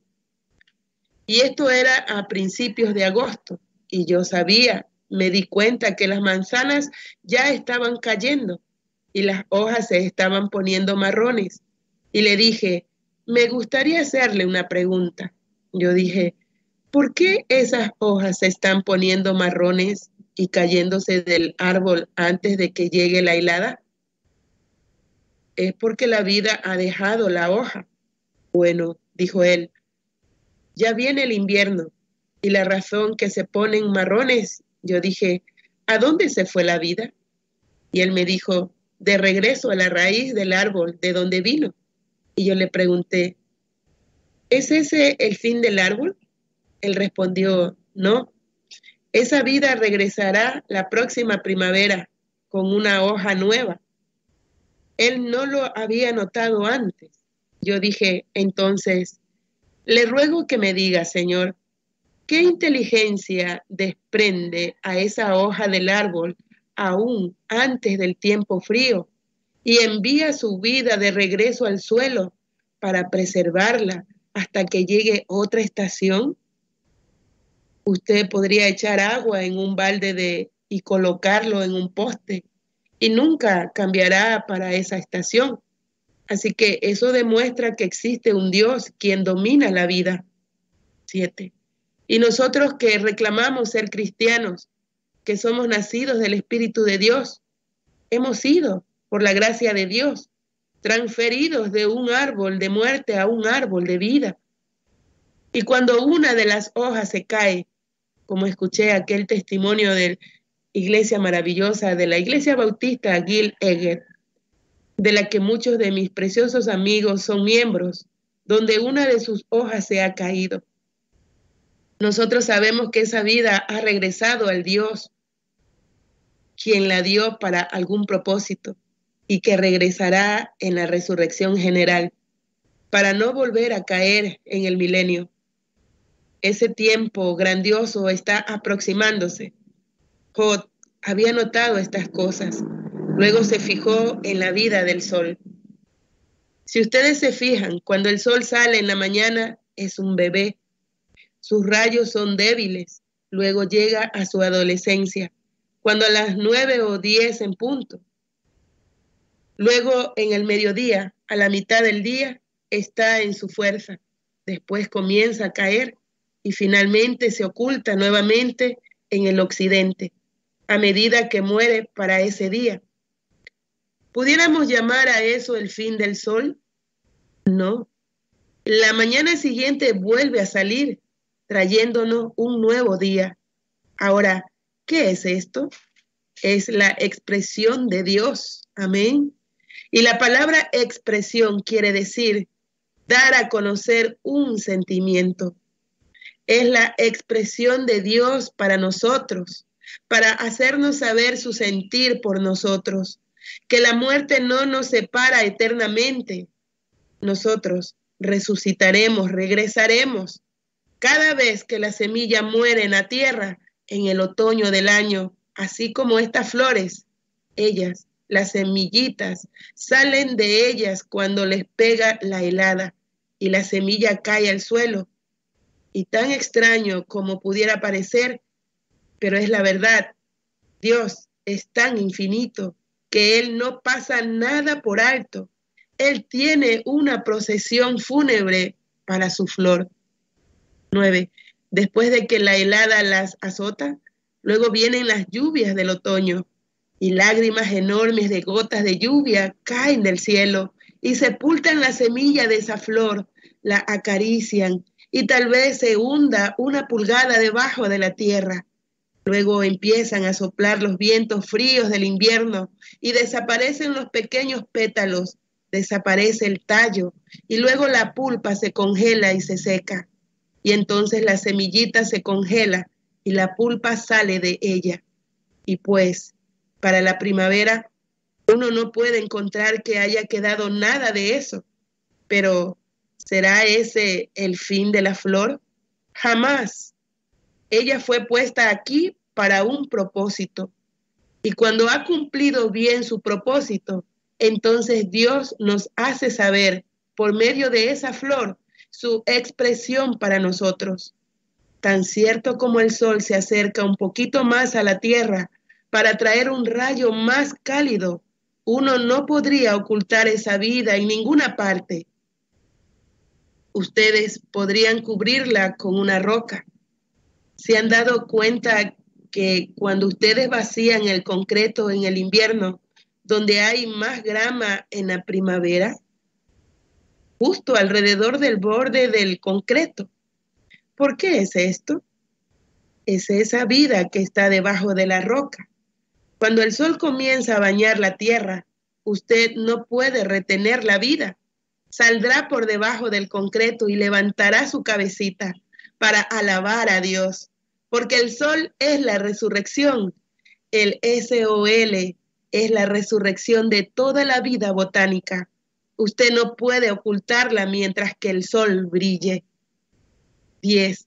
Muchas veces pareciera que el HIJO estuviera muy lejos, pero cuando él empieza a brillar, el Hijo de Justicia se levantará con sanidad en sus alas y toda vida, sin importar en dónde esté sepultada, cuán profundo, cuán lejos en las aguas, en las arenas o en las rocas, se levantará para la gloria de Dios porque Dios nos está expresando, mostrándonos exactamente lo que Él está haciendo.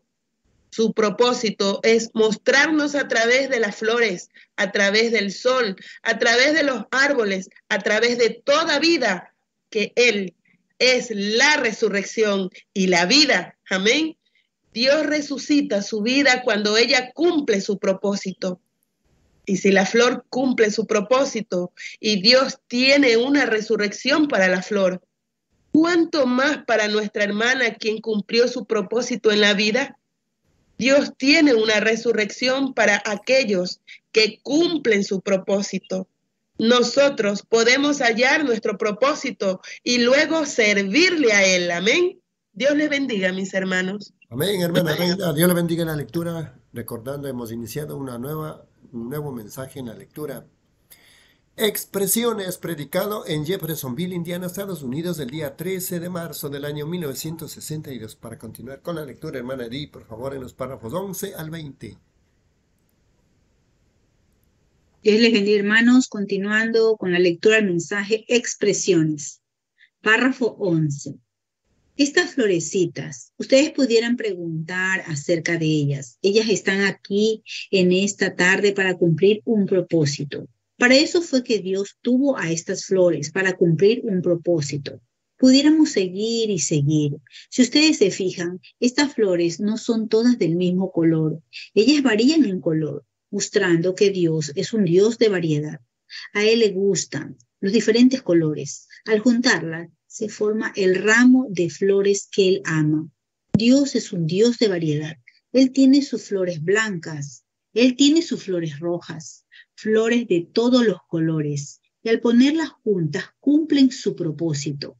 Él tiene montañas grandes, colinas pequeñas y llanuras. Él tiene desiertos, Él tiene mares, Él tiene el roble, la palmera, todo armonizando en su lugar donde Dios el Dios de toda la naturaleza puede vivir y disfrutar de sus existencias, mientras vive en sus criaturas de tiempo que están cumpliendo su propósito. Si Él tiene el suficiente cuidado para resucitar eso, Él hizo una vía de escape para eso, para ser usada nuevamente en el futuro. ¿Cuánto más cuido cuidado tiene él de su pueblo, sin importar quiénes seamos, qué raza, credo o lo que fuera, que podamos habitar juntos en la unidad de la presencia de Dios y su bendición. Algún día habrá una resurrección, tan cierto como hay una resurrección para la flor. Todos vemos eso, todos creemos eso, sabemos que todas estas cosas son expresiones. Ellas están testificando, diciéndonos, dándonos a conocer un sentir que Dios quiere que experimentemos. 12. Las personas que enviaron estas flores, los amigos de nuestra hermana que enviaron estas flores, ellos también están dándole a conocer a la familia, expresándole su sentimiento de condolencias por una amiga, una hermana, o un ser querido. Ellos están tratando de expresar, son expresiones dando a conocer, declarando algo. Todas estas cosas de las que pudiéramos hablar durante horas. Las expresiones de Dios para la raza humana. Todas estas juegan su papel y lo desempeñan bien. Cada flor, cada árbol, cada amanecer, cada atardecer, todo desempeña bien su papel. Todas, pero todas esas expresiones de Dios nos dan a conocer y nos dan un ejemplo de que un día Él iba a mostrar una gran expresión, una expresión eterna. Luego Él nos envió su imagen misma en la forma de su Hijo, Dios envió a su Hijo en la imagen expresa de sí mismo para expresarle a la raza humana lo que él pensaba de nosotros. Él cambió su forma y llegó a ser hombre, llegó a ser uno de nosotros, de Dios, el Padre Eterno, del gran Creador, quien antes de que hubiera un mundo llenaba todo espacio y tiempo. Ni siquiera había un medidor o un fotómetro, ni había un átomo o una molécula. Él aún era Dios y él siempre será Dios pero aquel grande, quien, si ustedes pudieran levantar la mirada en la noche y contemplar las estrellas del sistema solar. Hace unos años yo tuve el privilegio de mirar a través de este gran telescopio y donde ellos reclaman que uno podía mirar a 120 millones de años luz, fotómetros. Y más allá de eso todavía hay lunas, estrellas y mundos que él controla. Y entonces él tuvo el suficiente cuidado de hacernos una expresión a nosotros, sabiendo que Él es tan grande y sin embargo bajó en forma de un ser humano para expresar lo que Él era. Llegó a ser un varón de dolores, experimentado en quebranto. Él vivió una vida humana. Él no tenía lugar donde recostar su cabeza. Él estaba expresando lo que Dios era. Él sanó nuestras enfermedades cuando estábamos enfermos resucitó a los muertos para mostrar que Él era la imagen expresa de Dios. Él trazó un plan para todos nosotros, donde nosotros también pudiéramos mirar estas pequeñas expresiones y ver a Dios. Luego nosotros podríamos levantar la mirada y ver la gran expresión de Dios y tener entonces la seguridad de que cuando lleguen estas horas, este no es el fin de ello. 14. Me gusta la expresión que hizo nuestra hermana al cantar hace unos momentos. Esta es mi hermana. Yo no podría cantarlo de esa manera a menos que ella supiera dónde estaba. Ven, hay una manera en que sabemos hacia dónde vamos, porque la imagen expresa de Dios trazó este plan. Y él dijo que todo aquel que aceptara este plan tendrá vida eterna. Juan 5:24 dice, el que oye mis palabras y cree al que me envió, tiene vida eterna y no vendrá juicio, mas pasó de muerte a vida. La más grande expresión de todas fue Jesucristo, quien abrió un camino para nosotros. Él cumplió y vindicó todas las expresiones que estas flores y la vida botánica y así sucesivamente, y el sol, el sistema solar, han presenciado antes de su venida que iba a venir un justo que nos haría que los lo creyésemos firmemente, por cuanto él sería la imagen misma de Dios. Y cuando él vino e hizo lo que hizo, él probó que estas expresiones eran correctas. Él las vindicó, porque así como una flor se levanta nuevamente, el árbol se levanta nuevamente, el sol sale nuevamente, también el cristiano se levantará nuevamente. Tiene que hacerlo, porque Dios en la imagen expresa de un ser humano, un ser humano en la imagen expresa de Dios, lo probó por medio de su resurrección. Amén. 15. Y en eso, cuando el profeta vio estas cosas suceder, cuando él vio toda la vida botánica y demás. Entonces nosotros quienes estamos familiarizados con la Biblia sabemos eso. Sentado allí sobre este montón de cenizas, angustiado, la aflicción lo había golpeado. Los miembros de su iglesia le habían dicho que él era un, que había pecado secretamente. Muchas veces se ha dicho que una persona que muera prematuramente o algo así, que tal vez fue algún pecado que ellos cometieron, que ellos hicieron algo mal. No, ese no es el caso con el cristiano. Cuando él vio esta gran y final expresión, Dios dando a conocer su plan por medio de Jesucristo, él clamó con una voz. Cuando los relámpagos destallaron y los truenos rugieron, él dijo, yo sé que mi redentor vive y al fin se levantará sobre el polvo y después de deshecha esta mi piel, aún he de ver en mi carne a Dios, al cual yo tengo de ver por mí mismo. 16. Él vio una expresión final, con muchos cientos de años de anticipación, pero siendo un profeta, él vio la venida de la gran expresión de Dios en visión. Él podía mirar y ver la resurrección de las semillas, él podía ver la resurrección de los árboles y la resurrección del sol, después de haber cumplido su tiempo y levantado de nuevo, servido por un día y levantado para otro día. Las flores mueren para un servicio fúnebre y resucitan para otro servicio fúnebre, todo desempeñando un propósito, su propósito. Entonces él vio a lo lejos la venida de aquel justo y exclamó, yo sé que mi redentor vive. David dijo, mi carne descansará en esperanza, porque no dejarás mi alma en el infierno, ni dejarás que su santo vea corrupción.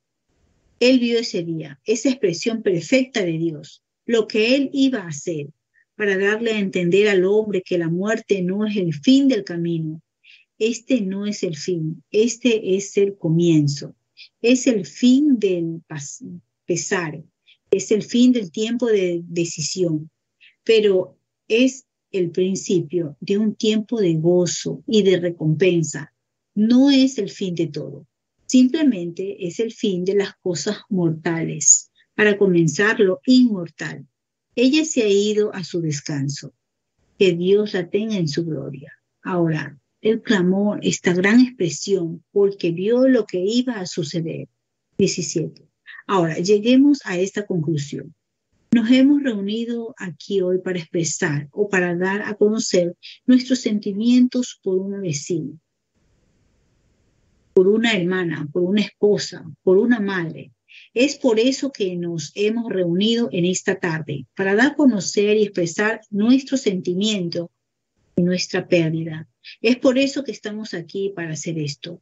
El padre expresó la pérdida de su esposa los hijos, la madre, la vecina o la hermana, mientras escuchaba a los ministros a través del recinto, haciendo esos comentarios tan maravillosos, gloriosos, consoladores, bien definidos, de lo que nuestra hermana significó para ellos y para sus congregaciones.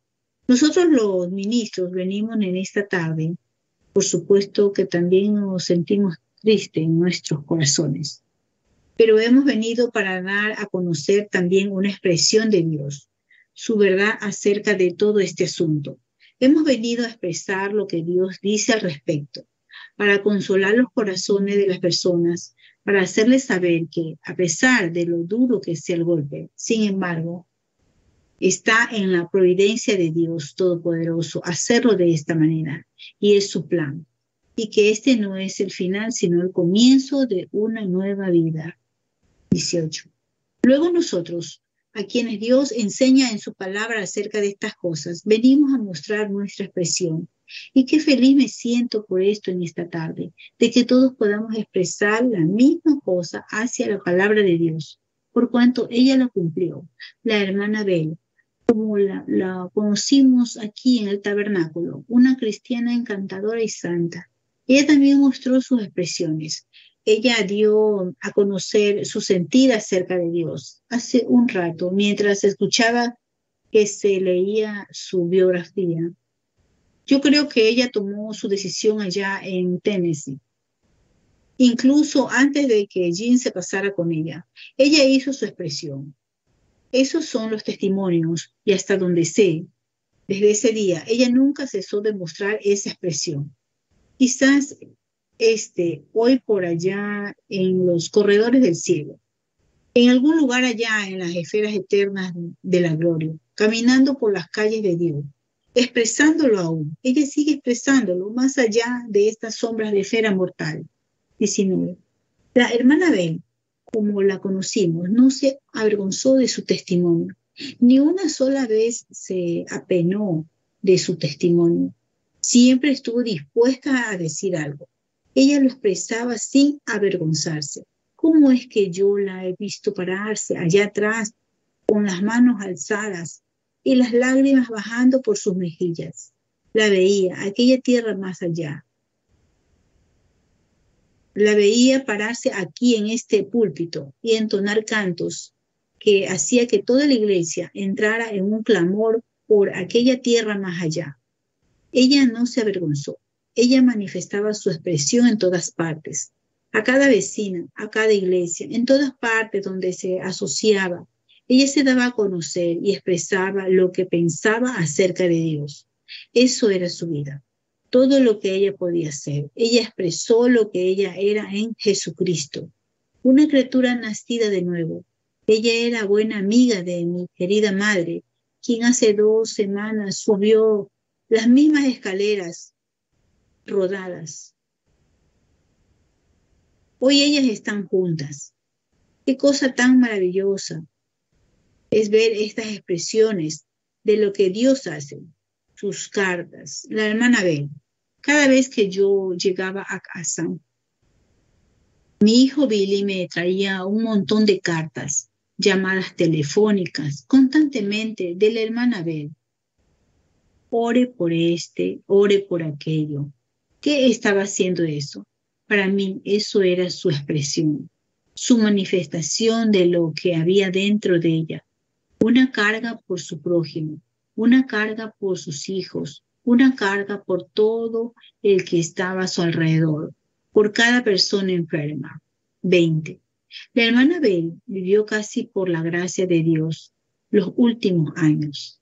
Ella era una fiel creyente en el poder sanador de Dios y sucedió en la otra noche que nunca en mi vida había orado por ella y oré con esa santa amada para que Dios la sanara. Y la otra noche cuando me llamaron, yo acababa de llegar de Arizona como a medio, medianoche. Ellos llamaron a mi hijo y le dijeron, la hermana Cipher, una amiga de la hermana Bel, quiere que ores por ella.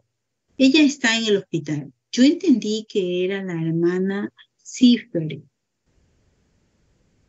Alguna señora tal vez que se encuentra aquí en este momento, llamada Cipher, a quien ella conocía. Yo pensaba que ella estaba en el hospital. A la mañana siguiente volvieron a llamar como a las once y algo y dijeron, no es la hermana Zipper, es la hermana Bell misma que está en el hospital. Y ver eso,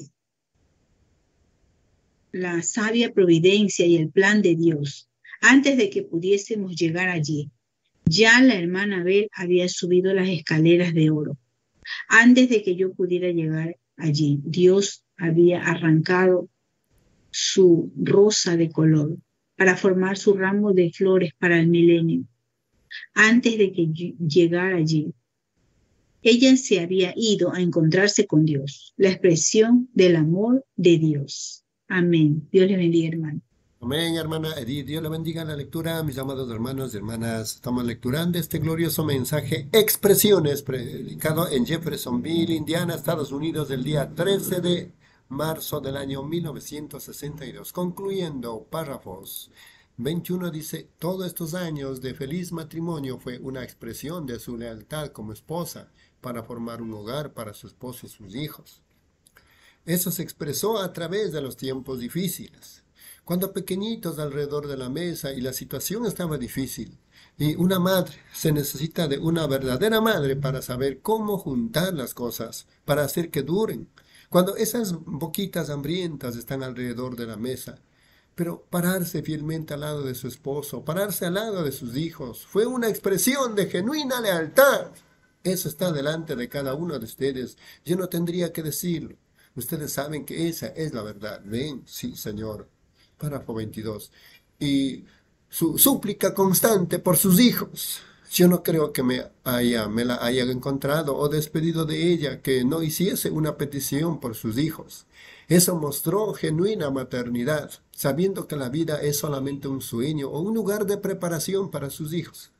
Ella quería encontrarse con ellos en una tierra más allá de esta, donde no habrá, donde no habría más tiempos difíciles. Ella siempre me decía, ella me llamaba hermano Billy. Ella decía, hermano Billy, ore por mis hijos, que ninguno de ellos se pierda. Sí, eso no es expresar verdadera maternidad. Una madre que está interesada en sus hijos, interesada en sus vecinos, en su esposo, en sus seres queridos. Eso era Dios en esa mujer expresando esas eternas, cosas eternas. Párrafo 23. ¿Cómo me compadezco de su esposo, mi buen amigo? ¿Cómo me compadezco de esos muchachos? Oír un mensaje de algunos de ellos que están en Alemania, en diferentes lugares, de mamá ha partido. Ella tal vez se haya ido de su presencia. Aquí muchachos, pero ella no está muerta, ella está viva por siempre jamás. Ella está viviendo en una tierra donde ella oró para que cada uno de ustedes vaya a encontrarse con ella. No la desilusionen. Yo estoy seguro que ella no lo hará.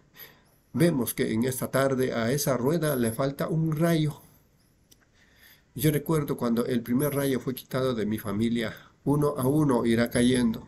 No tardará mucho, pero escuchen, esa rueda puede ser unida nuevamente en una tierra donde no hay ruedas rotas, donde la gran economía de Dios puede ser alcanzada y puede seguir rodando por las edades.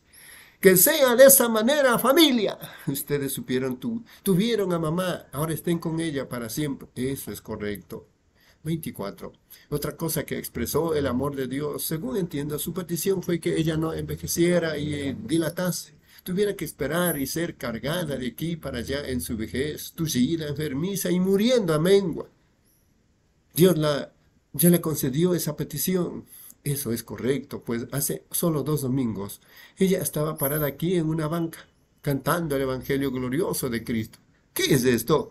¿Qué es esto que una madre de aproximadamente 65 años de edad se haya ido, al parecer prematuramente? ¿Qué significa eso? Es Dios expresando el mismo que Él no detendría ningún bien de aquellos que andan rectamente. Dios expresando en su muerte misma es Dios expresándonos a nosotros que Él es Dios y que Él le concederá el deseo de su corazón a aquellos que caminen rectamente delante de Él. Viendo esto, que Él es Dios y que todos nosotros tenemos que llegar a este lugar, miremos entonces sus muestras de expresiones su amor, su iglesia, su pueblo y todo lo que existe son todas las expresiones de Dios para nosotros. Entonces yo pienso que todos deberíamos inclinar nuestros rostros en humildad y agradecerle a Dios por esta vida que por medio de Cristo ha vencido hasta la misma muerte. Y luego las palabras de Jesús cuando fue a la hija de Jairo, ella no está muerta sino dormida. Ella ha ido a su eh, reposar del sueño y no a su muerte pues ella murió hace muchos años cuando era una muchachita. Y ahora vive en Cristo. Y para nosotros solo está dormida, pero despierta en Cristo. 25. Inclinemos nuestros rostros entonces y demos gracias por esta vida tan valerosa. Padre Celestial, desde luego que tú conoces nuestros corazones y los pensamientos de nuestra mente. Tú sabes todo acerca de nosotros, somos la creación de tus manos. Y tú sabes que nos duele ver a la hermana Bey ser quitada de nosotros. Pero Dios, inclinamos nuestros rostros y corazones en gratitud de que su petición le fue concebida y que tu deseo para ella fue cumplido que aún aquí, al final del camino, cuando su biografía está escrita en la vida de todo aquel con quien ella se relacionó, de que ella fue su, tu sierva, que su influencia viva por mucho tiempo en los corazones de todos los que lo conocieron. Dios, te rogamos que les des descanso a su valerosa alma en aquella tierra que ella amó y de la cual habló y, y cantó todos estos años. En esta tarde yo oro por Jimmy, Señor, al verlo sentado allí y expresando sus pensamientos mientras que las lágrimas cristalinas le bajaban por la mejilla. Él está pensando en una esposa leal y estos hijos a quienes les bajan las lágrimas por sus mejillas. Ellos están pensando en una madre encantadora y te rogamos, Dios, que les bendigas. Consuela sus corazones. Extiende esa mano que llega más allá del alcance de cualquier otra cosa que pueda llegar al corazón humano y darles esta satisfacción de que algún día nos volveremos a encontrar y nunca tendremos otro servicio fúnebre allí. Bendice a sus seres queridos, a sus hermanos, a sus hermanas, a sus nietos, a sus vecinos y a estas iglesias, Señor. Sabemos cuánto ellos lo amaban. Así como ella caminó entre nosotros, caminó entre ellos. Y junto con ellos, Señor, compartimos este gran sentimiento mutuo de que nosotros le amamos. Estamos aquí expresándote nuestra gratitud por su vida. Moldéanos, Señor, y haznos para que nosotros también, cuando lleguemos al final del camino, podamos estar listos para encontrarnos contigo. Perdona nuestros muchos pecados. Oh Dios eterno, ten misericordia de nosotros, Señor, porque estamos débiles y cansados. Y te ruego que en esta tarde nos des consuelo, que podamos hallarlo en estas palabras que han sido expresadas de tu palabra por los diferentes ministros y aquellos que son ordenados para traer estas cosas y a los vecinos y amigos, que los hallemos allí con el testimonio de las flores y de los árboles, del sol y de las hojas, y sobre todo con la presencia del Espíritu Santo, el cual da testimonio de la resurrección de Cristo. No os dejaré huérfanos. Yo rogaré al Padre y Él os dará otro consolador para que esté con vosotros para siempre. Oh, cuánto le amamos, Señor. Y cuando y cuánto apreciamos que lo hayas enviado a nosotros para darnos esta seguridad bendita en estas horas y momentos de angustia. Ahora, danos fuerza para la parte que sigue del servicio. Quiero pedirte un especial, Señor, por estos muchachos sentados aquí con sus uniformes. Benditos sean esos muchachos, mientras tendrán que regresar a sus rangos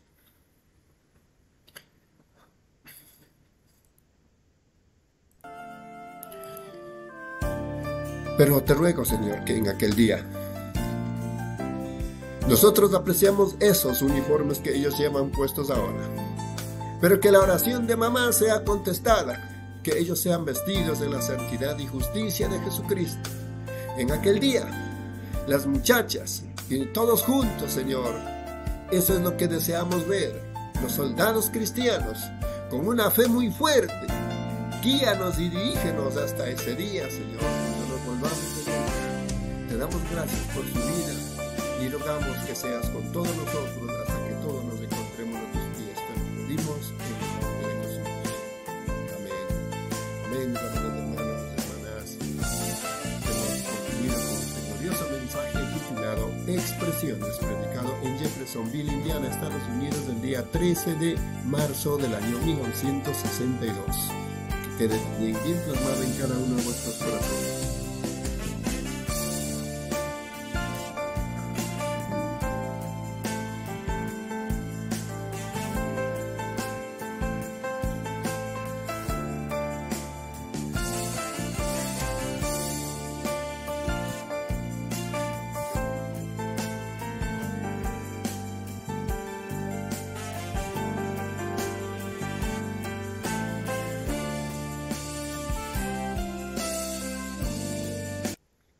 Amén, hermanos y hermanas.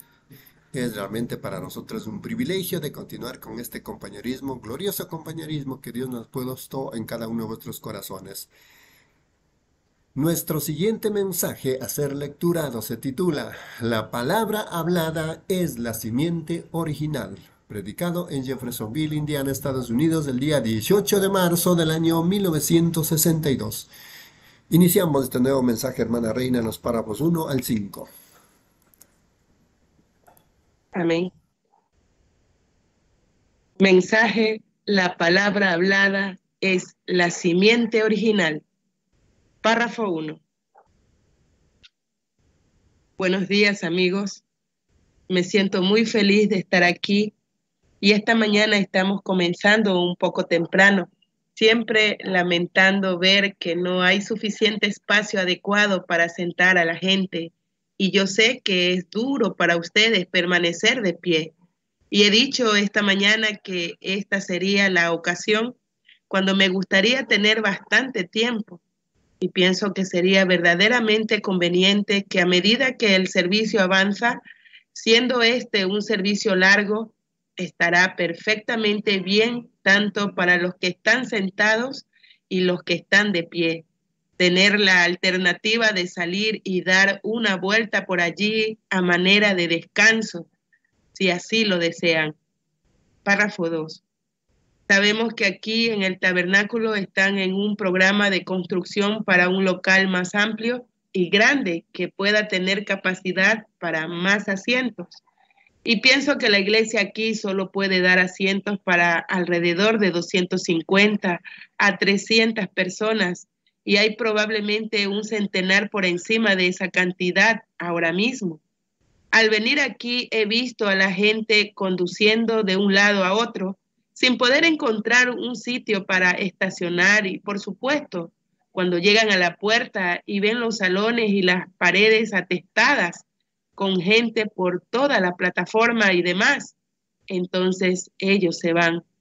Y deseamos que todos oigan el mensaje del Señor mientras procuramos predicarlo. Tres, quiero anunciarlo inmediatamente. Trataré de hablar hasta las 12 y luego despedir a esa hora. Y eso dará tiempo a cada uno para salir y conseguir algo de comer.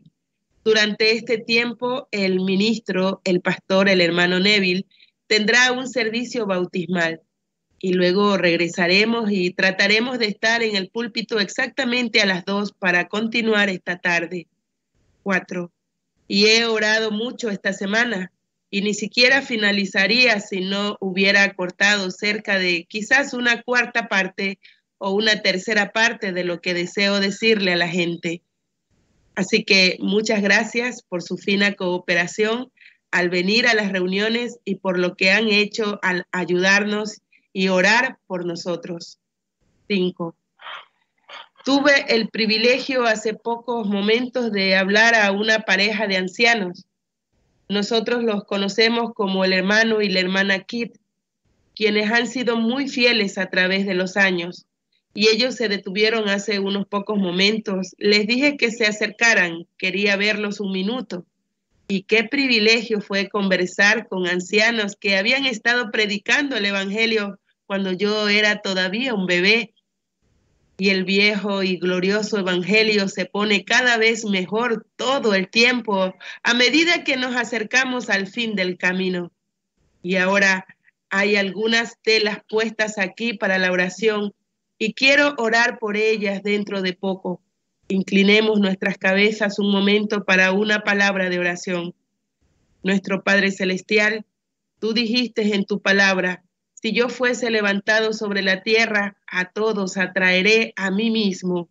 Y ese es nuestro propósito en la vida, presentar ante una generación moribunda que Jesucristo es aún el Hijo de Dios, el Salvador del mundo, y estoy tan feliz de saber que vivo donde hay gente que cree eso, juntamente con los miles que le han aceptado como su Salvador y sabiendo que después que esta vida termine, habrá una vida del otro lado que será mucho más gloriosa que estas arduas y pocas horas por las cuales estamos pasando a través de estas sombras y oscuridades de la vida.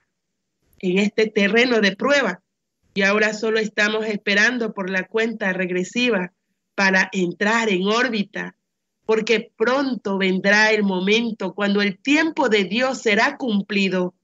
El gran brazo que ha retenido el tiempo hasta aquí finalmente permitirá que avance y su iglesia despegará de esta tierra al espacio exterior más allá, hacia una tierra donde no habrá enfermedad, dolor, vejez, muerte. Esa es la razón por la que estamos reunidos hoy, Señor, para expresar nuestro sentir respecto a estas cosas. Estamos tan contentos de saber que esto no es solo congregar a la gente para algo en vano, sino que ha sido probada la más grande realidad que el mundo alguna vez haya conocido, que el Hijo de Dios no está muerto, él que hizo las promesas, sino que está vivo entre nosotros para siempre. Y estamos tan felices esta mañana, Señor, por encima de todas las cosas, que aunque poseyéramos el mundo y pudiéramos ser jóvenes por cientos de años para disfrutarlo, sin embargo, eso sería solamente una temporada comparada con el tiempo que está reservado para aquellos que le aman Así que estamos procurando dirigir a nuestro hermano y hermana hacia esa gran hora que se nos está acercando. Y mientras vemos ese tiempo llegar, que nuestros corazones ardan, Señor, queremos estar listos. Uno por uno bajamos la senda. Acabamos de dar sepultura a uno de los nuestros, nuestra hermana Abel, que se fue rápidamente de acuerdo a su petición tan rápido que no pudimos llegar para orar por ella, pero irse era su petición. Cuán bueno es ver que tú provees todas las cosas que deseamos en nuestros corazones. tú no abandonas a ninguno de ellos. Tú lo prometiste. Ahora te pedimos hoy que des entendimiento a los corazones de aquellos que no te conocen, que traigas a los pecadores al arrepentimiento, que des a los enfermos conocimiento de la sanidad de Dios. Oh Dios, bendice a tus santos y une sus corazones. Y a medida que estas cintas salen a las ciudades e iglesias por todas las naciones alrededor del mundo, que puedan ministrar a hermanos que una vez malentendieron, que entiendan ahora que tu iglesia debe estar preparada. Y ahora, oh Señor, quien me apartó desde mi madre, quien me ha alimentado todos los días de mi vida y me ha traído a esta hora por su gracia, sintiendo que es tu voluntad que yo deba explicar a la gente la razón por la cual he actuado y obrado de la manera como lo he hecho que pueda hacerlo de tal modo que la gente tenga un mejor entendimiento de la particularidad de tus siervos.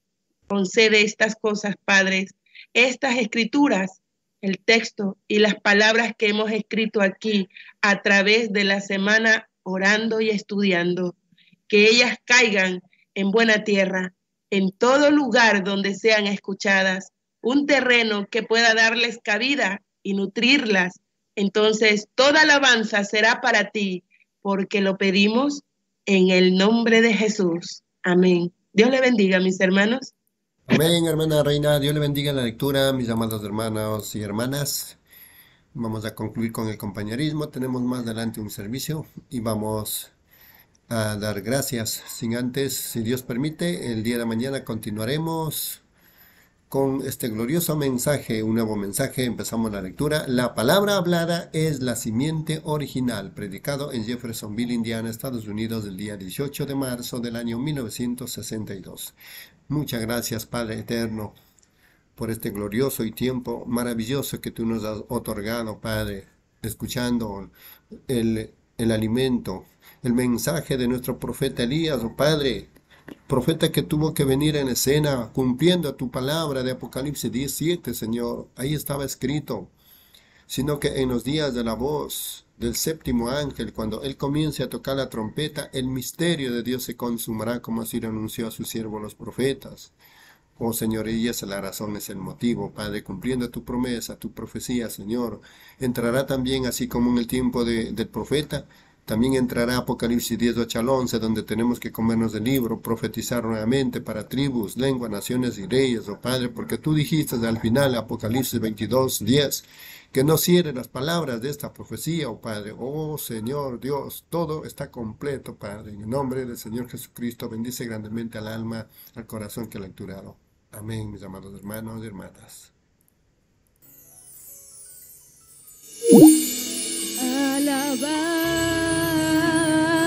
Jehová,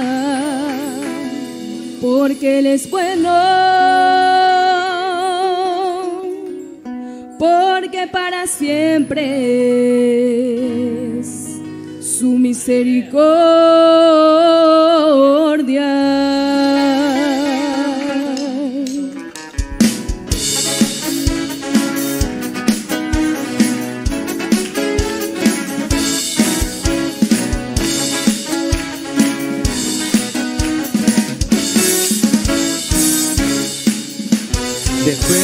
Caída Dios hizo la promesa de redención y vino la simiente que diría a cabeza de la serpiente. Pensó a la muerte para abrir los siete sellos y restituir todos los años. Él comió la oruga.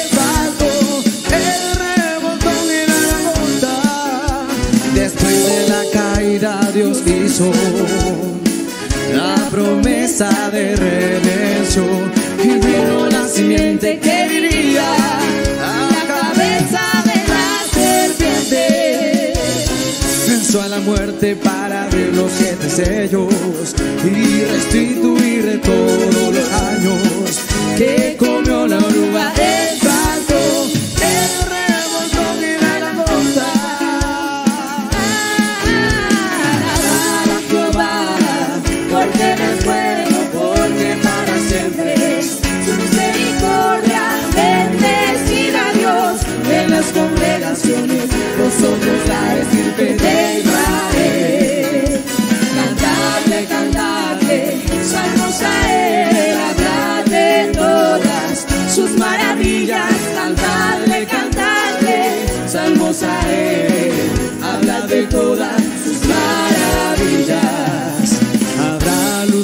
Caer la tarde. Aguas vivas saldrán de Jerusalén, a mitad de ellas hacia el mar y la otra mitad hacia el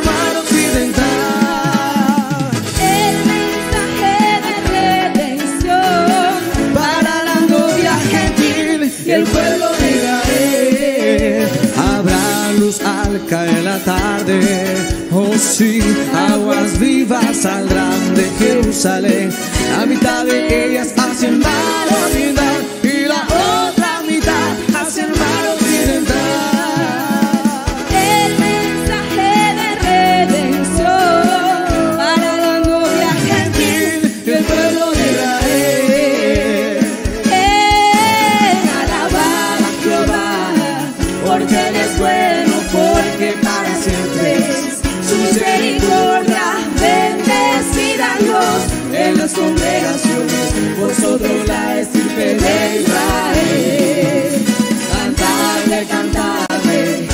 salmos a él, hablad de todas sus maravillas, cantadle, cantadle, salmos a él, hablad de todas sus maravillas.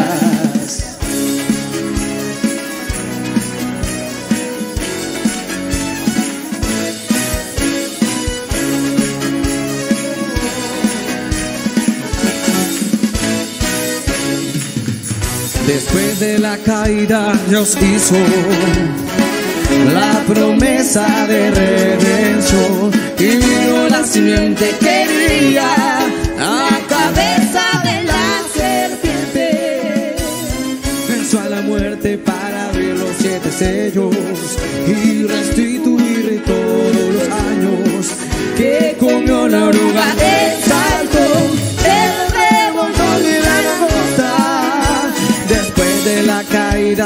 hizo.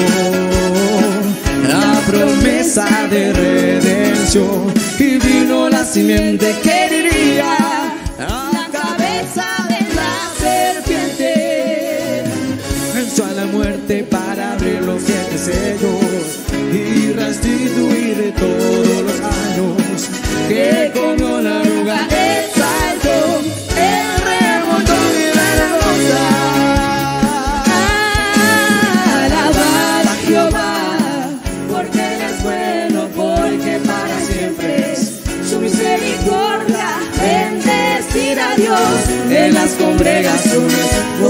la estirpe de Israel.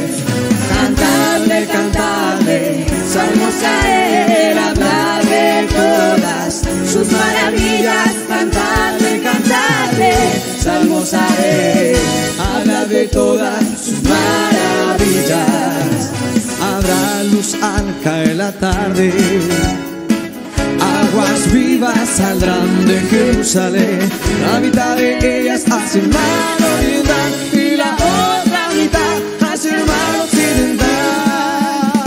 el mensaje de redención. Para la novia gentil y el pueblo de Israel, habrá luz al caer la tarde.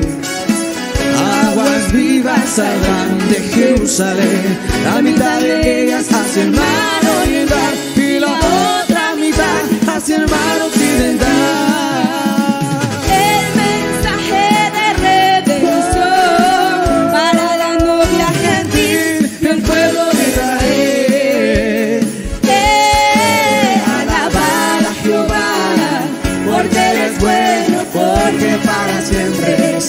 Misericordia. Bendecid a Dios en las congregaciones, vosotros la estirpe de Israel. Cantadle, cantadle, salmos a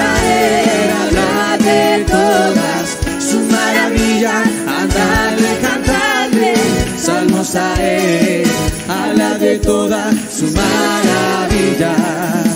Cantadle, cantadle,